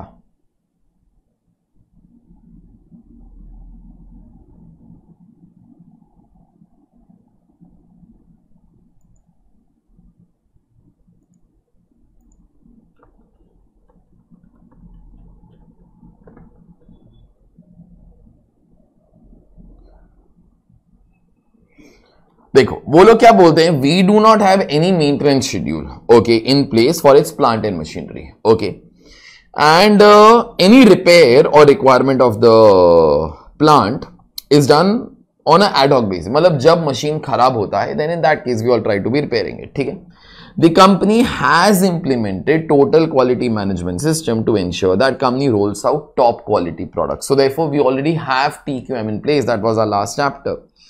The company did not receive any complaints from its customers regarding the poor quality of the product or products not meeting the specification. So quality of the products is top notch. We have not got any complaints till now. But now read. The entire production team is quite excited with the superior quality of the products. However, in the last three months, around 30% of the dispatches to the customers was delayed. This comes at a time when entire plant had to be shut down for maintenance activity due to breakdown in the machineries for a week. Okay. Now, what these are saying, however, in the last three months, around 30% of the dispatches to the customers was delayed. Now, why did this thing happen? Those guys are saying in the next line. This comes at a time when the entire plant had to be shut down for maintenance activity due to breakdown in the machinery for a week. Now, obviously try to relate these events. What happened was that uh, you do not have any maintenance plan or preventive maintenance. Okay, so we don't have that. Machine खराब हुआ, then in that case we will repair it. इस बार क्या हुआ कि for a week machine खराब हो गया obviously देखो समके ना शुरू में यहाँ पे ये चीज़ वो लिखा हुआ है that company runs for all the 365 days in a year okay so therefore plants run on all 365 days बेटा plants को इतना ज़्यादा यूज़ करोगे कभी ना कभी तो खराब होएगा और अगर कोई प्रिवेंटिव मेंटेनेंस का शेड्यूल वो नहीं है तो ऑब्वियसली जब खराब होएगा it will be a big problem for you all so therefore that is whatever has happened also for a week the machines were all gone for a toss तो उस वीक के अंदर जो प्रोडक्शन होने वाला था that particular production did not happen if it did not happen then obviously जब भी मशीन ठीक हो गया we try to produce and try to be sending it लेकिन ऑब्वियसली ऑर्डर्स डिले तो हो ही गया ना, क्योंकि एक हफ़्ते के ना कुछ प्रोडक्शन ही नहीं हुआ. आगे जरा देखो the company also witness 20% rejection of their final products again I try to be thinking that this thing could be related to the previous part also because अभी क्या हुआ कि अपना मशीन से एक हफ़्ते के लिए खराब हो गया। Obviously we will also be getting tense यार मशीन कभी ठीक होएगा। जब भी मशीन ठीक हुआ, अपन लोग फटाफट प्रोड्यूस करने के लिए it might have happened that the quality of the product has started to gone for a toss क्योंकि हमारे सारे के सारे जो टीक्यूएम के प्रोसीजर्स हैं, वो तो इन प्लेस हैं। लेकिन अगर मशीन से खराब हो जाएगा तो automatically in that particular case एक बार अगर मशीन ठीक भी हो जाएगा we'll have to try to rush the things okay due to that the quality might go for a toss the customers claim that the products did not meet the specification agreed by them with the company the director of refineries is worried about the worsening situation of production at the plants now आगे जरा देखना। Another concern for the director is increase in number of accidents and loss of productive time due to this all these things ना, वो लोग आपको case study के अंदर अगर कोई मॉडल यूज़ करने वाला होगा ना, वो लोग तुमको हिंट देता जाएगा क्या this is a problem this is a problem you have to try to think that which things you have learn in your syllabus try to address that particular issue so therefore those like you know there is another concern की यहाँ पे ना due to machine वगैरह lot of accidents are happening और उसकी वजह से productive time अपना लूज हो रहा है, ठीक है? The chairman of the companies uh, convened an urgent meeting of the board of directors to understand the impact and the reasons of the situation at the production plants. Okay. तो उसने एक meeting बुलाया a key issue highlighted by plant supervisor is that अभी ये ध्यान से पढ़ना is that schedule maintenance activity for the plants was never carried out तो हम लोगों ने कभी यहाँ पे मेंटेनेंस वगैरह वो करवाया ही नहीं आज तक शेड्यूल्ड मेंटेनेंस शेड्यूल्ड मेंटेनेंस मतलब preventive maintenance we try to schedule in advance like you know machine को हम लोग ग्रीस करेंगे ऑयल करेंगे all those things now why was that thing done मतलब हम लोगों ने मेंटेन क्यों नहीं करवाया? The underlying assumption for not carrying out such maintenance activity was since the plant is running smoothly there is no requirement of preventive maintenance activity तो उन लोगों का असम्पशन क्या था? भाई अगर मशीन ठीक चल रहा है तो सब बराबर ही। है ओके okay, सब बराबर ही है तो मशीन का मेंटेनेंस वगैरह क्यों करवाने का? Such activities cost a lot in terms of money and also causes loss of productive time which could otherwise be use for production तुमको ये लाइन का मतलब वो समझ में आया? मेरे को बोलना एक बार येस और नो वो वो लोग क्या बोलता है इन दिस पर्टिकुलर केस ना, कि ये सब मेंटेनेंस करवाने के लिए ना बहुत ज़्यादा पैसा जाता है एंड ऑब्वियसली आर्स भी जाता है। These hours could have been use for production at that particular time तो अपने को ये जो मेंटेनेंस जैसी वो फालतू चीज़ें ना, वो अपन लोग वो करवाता ही नहीं। The maintenance department and production department function in silos silos मतलब इन आइसोलेशन मतलब प्रोडक्शन डिपार्टमेंट और जो maintenance department of the machine है ना, वो लोग का आपस के ना कोई कोऑर्डिनेशन नहीं होता। सपोज़ यहाँ पर मशीन खराब हो गया, वो लोग मेंटेनेंस डिपार्टमेंट को फ़ोन करता है ओके या फिर एक तो ऐसा हो सकता है कि फ़ोन ही नहीं करता, दूसरा फ़ोन करता है तो ये लोग तब वो आते नहीं है। तो ऑब्वियसली ये लैक ऑफ़ कोऑर्डिनेशन की वजह से lot of hours will get wasted ठीक है? आगे देखो उन लोगों ने वो लिखा है। with almost no coordination among themselves. The most critical part of the plans were not maintained for a very long time. Okay. The chairman called you after the meeting and asked you to help him to understand the current issue at the plant. Okay. We had total quality management in place at all our plants. Okay. I understand from the production di uh, director that TQM is working as intended. Why we are facing the breakdown problems in spite of having TQM in place, said the chairman. तो अपने को ये breakdown के जो problem आ रहे हैं ये क्यों आ रहे हैं The chairman has asked you to quickly prepare a note highlighting the following points. First, what could be the likely losses arising due to breakdown of machine due to non-maintenance? आप लोग अपना notes खोलो जो first day वो लिखा था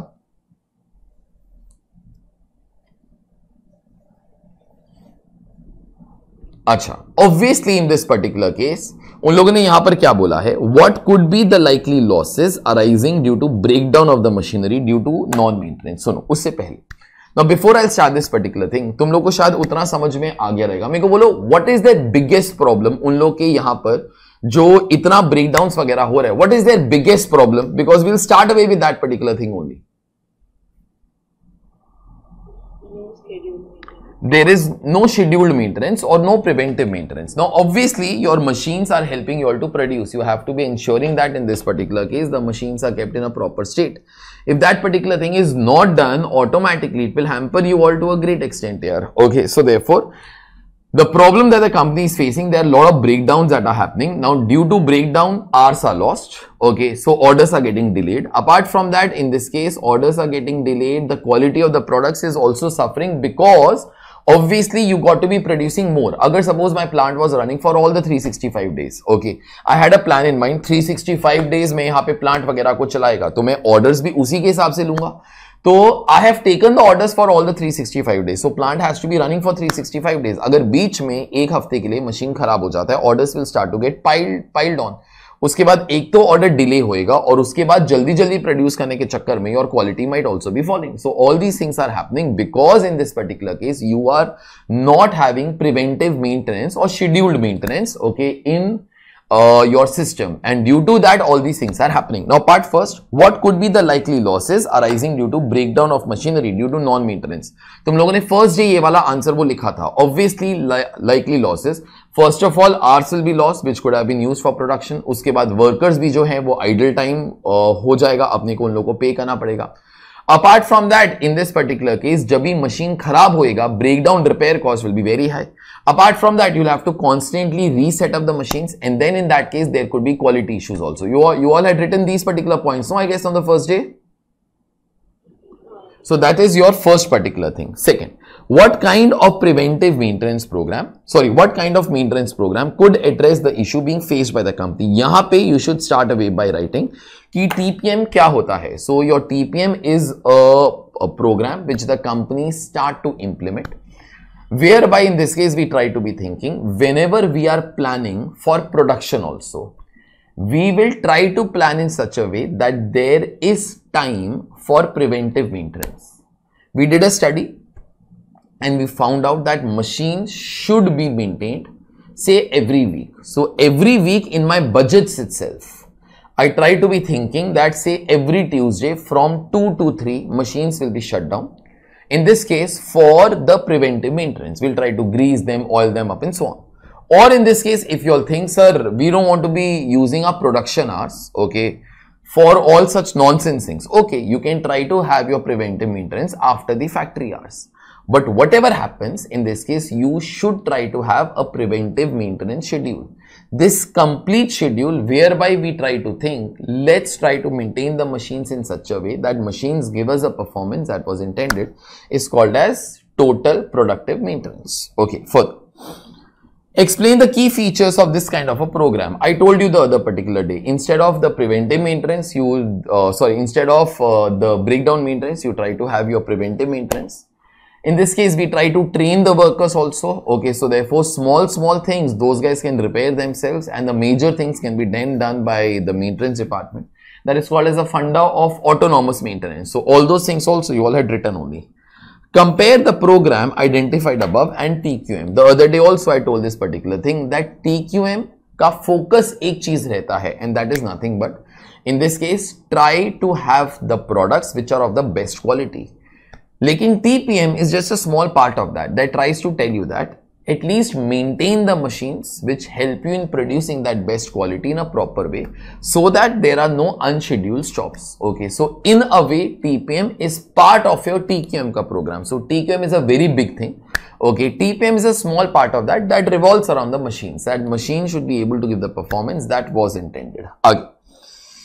What are the types of maintenance practices that the company can implement उस दिन जरा देखो तुम लोगों ने पाँच types of maintenance वो लिखा था जरा वो देखना एक बार first thing in this case was breakdown maintenance machine खराब हो गया उसके बाद आप repair, आप repair करो but such kind of expenses are not good for a company okay तो obviously the workers will be sitting idle the losses will start to happen up and so on so instead of the breakdown maintenance you try to have preventive maintenance maintain the machines in advance only so therefore all those particular pro uh, problems will not happen. That's second.